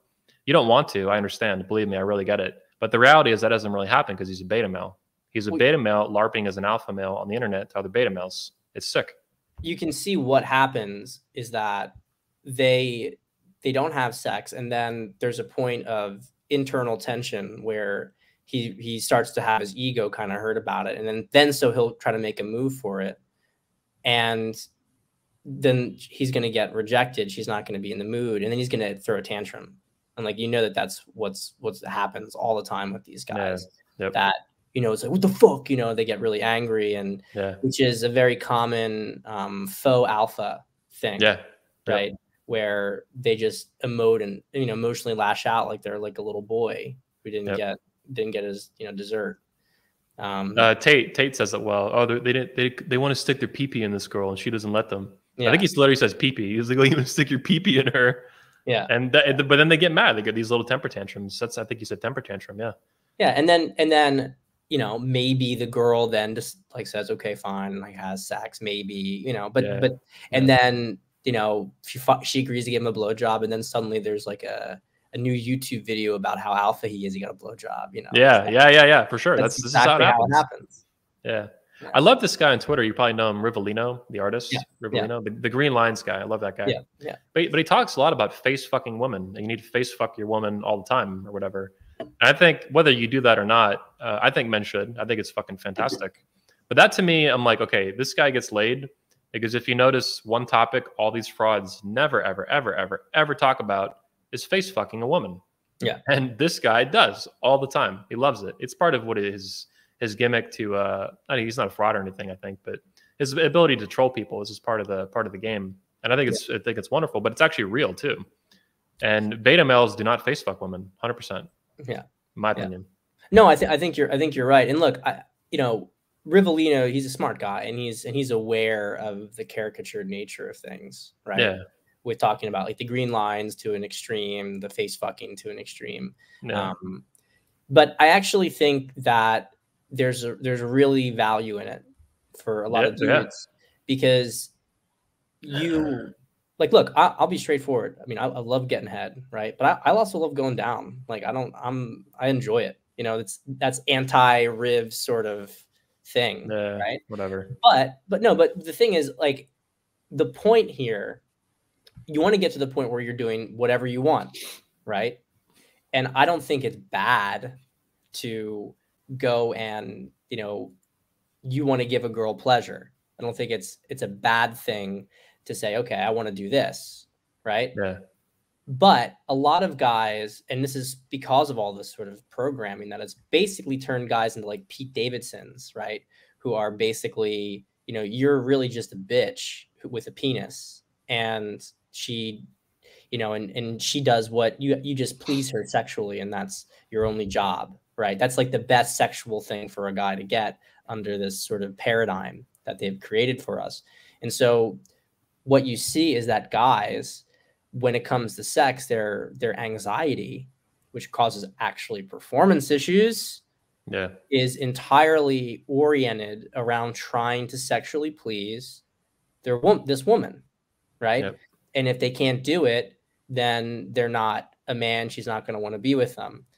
And I, I swear to God, Anthony, I mean, one of the th- one of the things like, and that's also because of porn and stuff like that, that guys have this fantasy that the girl just really, really wants them and she's going to be so turned on and she's going to you know come and even she's going to initiate in many cases and then guys have this program in their mind and they wonder why when the situation happens that they can't get it up i mean Yeah. look it's nice when you know time to time when a girl initiates initiates but the reality is that as a man you're sexually charged when you Yep. are you're pursuing right you're taking the girl she's yours she's you know to even put it in in these very basic terms it's like you know you take her and you, you're fucking her right You're in attack mode. You're in attack You're mode. in attack mode You're gonna attack her attack her vagina. yeah exactly you it charges your masculinity like you're a, Yep. you're a predator right you're Yeah. a predator when the woman comes after you you're you're the prey and so you become powerless right which is impotence Yeah. so guys can't get it up but then you know this whole thing is about the girl coming to them the girl validating them well Yeah, they- it's just but they're just wounded and broken. Like it's all it's all just rationalizing their own fucking trauma is what it is. yeah They should they should be, if I can, you know, interpret what you're saying, they need to be egg predators. Prey on be a predator for the eggs. Get the Well- eggs. well, well yeah and, and look i think once a guy gets used to saying you know what i'm gonna go in like my objective here is the fuck is to like get my like please myself really that's what it's about it's about pleasing myself Yeah. what they find is that the girl really enjoys that Yeah.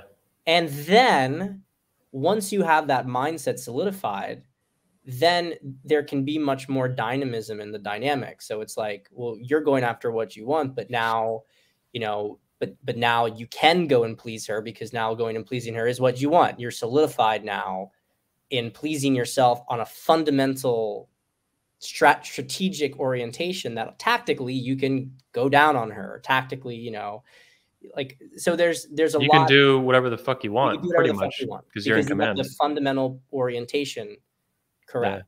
Yep. But you know what you really want from women sexually is you like when we talk about oh i want the woman to initiate it's like you don't really want her to initiate what you want is her to indicate receptiveness yeah that's what you want Yep. that's when you get charged where it's like she's wearing something skimpy and she sticks her ass out yeah that's what you want because then it's like invitation to attack Well, as a that- man, you, you want to feel desired too. And I think the manosphere is a big hang up with this, particularly the red pill frauds. Mhm. They, and maybe probably some of the MGTOW and the black pill guys too. I heard, for example, you called them retards on Tony's show the other day, which Oh, I, yeah, I love. love I love it. I love it. I, I was and i was talking to them from a position of familiarity as Yeah, well yeah. and they were trolling me in the comments and stuff like that so But before we lose the point, like, you know, whether it's red pill, Rollo pill, black pill, MGTOW, or whatever the fuck, even MRAs, right? They don't want to talk about it, but they want to be desired by women. This is very mm-hmm. natural. Every man wants to be desired by, if not woman in plural, then at least one woman in particular that you're also attracted to. Yeah. And these guys can't admit that they have a need to be desired. Yeah. It's like, oh no, that's needy. It's like, no, dude, you're just a human being and you're a man and you have balls and Yeah. you want a woman to suck and fuck you and have a good Yeah. time. Like this is not fucking complicated, but they overcomplicate it to this insane level of, you know, the keyboard warrior shit and the hypergamy and the fucking never, never let a woman know you want her back in the old PUA days. Like it, there's just as as positive and productive as the manosphere has been. There's also been this this mountain of like fuckery and not and bullshit. Not even the fraudulent shit, which is a whole other fucking mountain of shit. Yeah. Just like this this fuckery and insecurity and the stupidity and the blind leading the blind. And sex, I think, is one of the most profound areas that there's just been a lot of retard shit. Guys like you and Alan Roger Currie and even like a Tony Bruno are the exceptions to the rule. That it's just the blind leading the blind who don't know shit, can't fuck women, don't get laid, can't admit that they want women to want them. Like, like I love, I'm mouth as fuck. I love it. I'm pure blood. Women Yeah. want to bang me. They're, you know, all this shit. I want to enslave all women, whatever, right? It's fucking great. but, but at least I can, at least I'm comfortable with it and I can admit it. And, you know, my girlfriend loves it 100%. Duh. Otherwise, I wouldn't be in a relationship with her, right? So I really appreciate that guys like you speak up and um, you talk about these issues on a regular basis too, right? I do what I can to support it, but uh, seeing the newsletter and stuff, Pat Stedman's talking about sex, better open that shit. Yeah. I, I appreciate that, Anthony, and and I appreciate what you're doing. I mean, really, you you are the nexus of all of this stuff, all these conversations, and and you keep it coherent. Thanks. You know, it it, it does pull the the focus of it in this direction. You know, you you kind of cleave off. Okay, like this is this is outside of the bounds of what we should define as as productive, right? Yeah. And cleave off this area. You know, you you know declare a jihad on it, right? gotta, you got to cull the herd. You got to clean up the manosphere. You know, yeah, do yeah. do what it takes. Jihad, exactly. It's a Yeah. it's a it's a holy war of masculinity and femininity. Even, uh, you know, even reaching out. You know, I'm I'm like one of the pioneers in the manosphere for Make Women Great Again. Obviously, organizing a bunch of speakers like yourself and myself and many others to actually talk to women and teach them, mansplain Yeah. what men want and how feminism has lied to them. Like these are from from a manosphere perspective, this is not that complicated. Like this needs to happen. And yet, even not only from the feminists did we get pushback, but even in the manosphere, a lot of the Rollo pill guys and red pill guys and MGTOW guys even they hated it. I mean, a lot of guys loved it too. They loved the the the balls of it, the tenacity. The it, it was hilarious, like Yeah. watching the media freak out, puppeting puppeting the fake news, right? Yeah. Or flipping the tables. But it needed to happen, and it's like, what do you? Women are women. The manosphere can agree that the state of American women is a disaster. I think, right? Worse than it's ever been by a long shot, particularly the past 10, 15, 20 years, right? Uh, yeah, I would even. Yeah, I mean, no question. It, it, it- it's getting exponentially worse. Yeah, year. yeah. I mean, what ten years ago? Yeah. like you had messed up women, but but you had still like fundamentally. I would not say that your average woman was insane. Like now, now it's really Yeah. gotten to be quite. Yeah, how many how many hundreds of thousands or millions of american college women are literally selling their vagina on seeking arrangements or even on tinder oh venmo me five bucks and see what happens like Like Yeah. these girls are the average American girl. AJ Cortes actually put it really good in his 2019 Poland speech. You've always had a population of women who are just like degenerate sluts and prostitutes and strippers, whatever. And I, I don't know, you pro- need it, to be honest. I think you need it in a society. Yeah, I don't have a problem with that. Like it's yeah. fun. It's that that behavior has reached the entire rest of the bell curve. Like Right. What was once a minority has now become normal across at least 60% of the population in, or 80% in some major way. It's like this is not this is completely unsustainable and we're all going to die if this doesn't stop. Like it's that bad. Yeah, yeah. I mean, I, I'll have to jump in in a minute because I have a I have a coaching Okay. call. But um, I just want to respond real quick to that. One of the things that I've observed is so there is there are always these women, you know, call them the Madonnas, right, who are just not super super promiscuous or sexual by their very nature. And then you have this certain percentage of women, and I think it's 10 to 20% on each end, Yeah. um, to varying degrees, who are just, you know, totally promiscuous. And um, frankly, you know, I actually am not anti these girls. I think that they have, well, first off, they are who they are, right? Whatever Same, same. but at, but they also if we're being honest here they've kind of served a bit of a purpose in the sense that you know there's always that one girl in high school who you know 10 guys got their first experience with as a result. You know what i mean? It's kind of Yeah. in some ways there's an ecosystem to it at, that the other other women don't have to sort of play that role and the guys are maybe more than inclined to go with the with the good girls. At, to your point though um it's you have always this malleable middle 60 to 80 percent of women who are to varying degrees maybe slightly more promiscuous slightly less but fundamentally they're they're based on the mores of society. And the slut has been normalized by society right now. And so all these girls even if they're not super inclined to want to do it in a different time period they would never have done it. You know they go to college and they're going to Mhm. have some hookups because that's what everybody else is doing and i'm of the opinion that a lot of those girls are salvageable but it's getting harder and harder as time goes on because Yeah. it just depends on the number of stuff and we're not even talking about you know just the fact that a lot of them are in terrible shape You can't undo it. you can't undo history. You can't undo banging 40 guys. Like, No, I mean, and that's a huge number, right? I'm, I'm not even talking anything closely close to that. Um, but the the the issue is that are these girls, if if a girl is actually stepping out of that, there needs to be some serious, serious self awareness and reflection. I do see more women doing this. I have to say that I do see more women coming to terms with it. Um, And while I, I don't think that you should ever, on a blanket level, just simply accept that a woman's changed, I think it's constructive to see that you have women who are I, I'm not saying it's the norm yet, but you do have some women who are who are legitimately becoming more of like, look, this was degenerate shit I was manipulated into. I don't want it anymore. I don't want to be a part of it. And to their credit, they're open with guys about their past because they understand like they're and, and that's not the average woman by any stretch of the imagination. I'm talking more about a trend I see growing where men and women, because let's like I want to be also a little bit fair to some of these girls. Like they are being like you're you know you're 18 years old and you've been fed this shit all the way throughout your life. You haven't had any father to, to or mother, frankly. To Yep. women are more policed by women by other women than by men. At the end of the day, to slut shaming. Yeah. yeah, just to, to teach them not to look like a harlot, right? yeah. Or, to, or to engage in this behavior.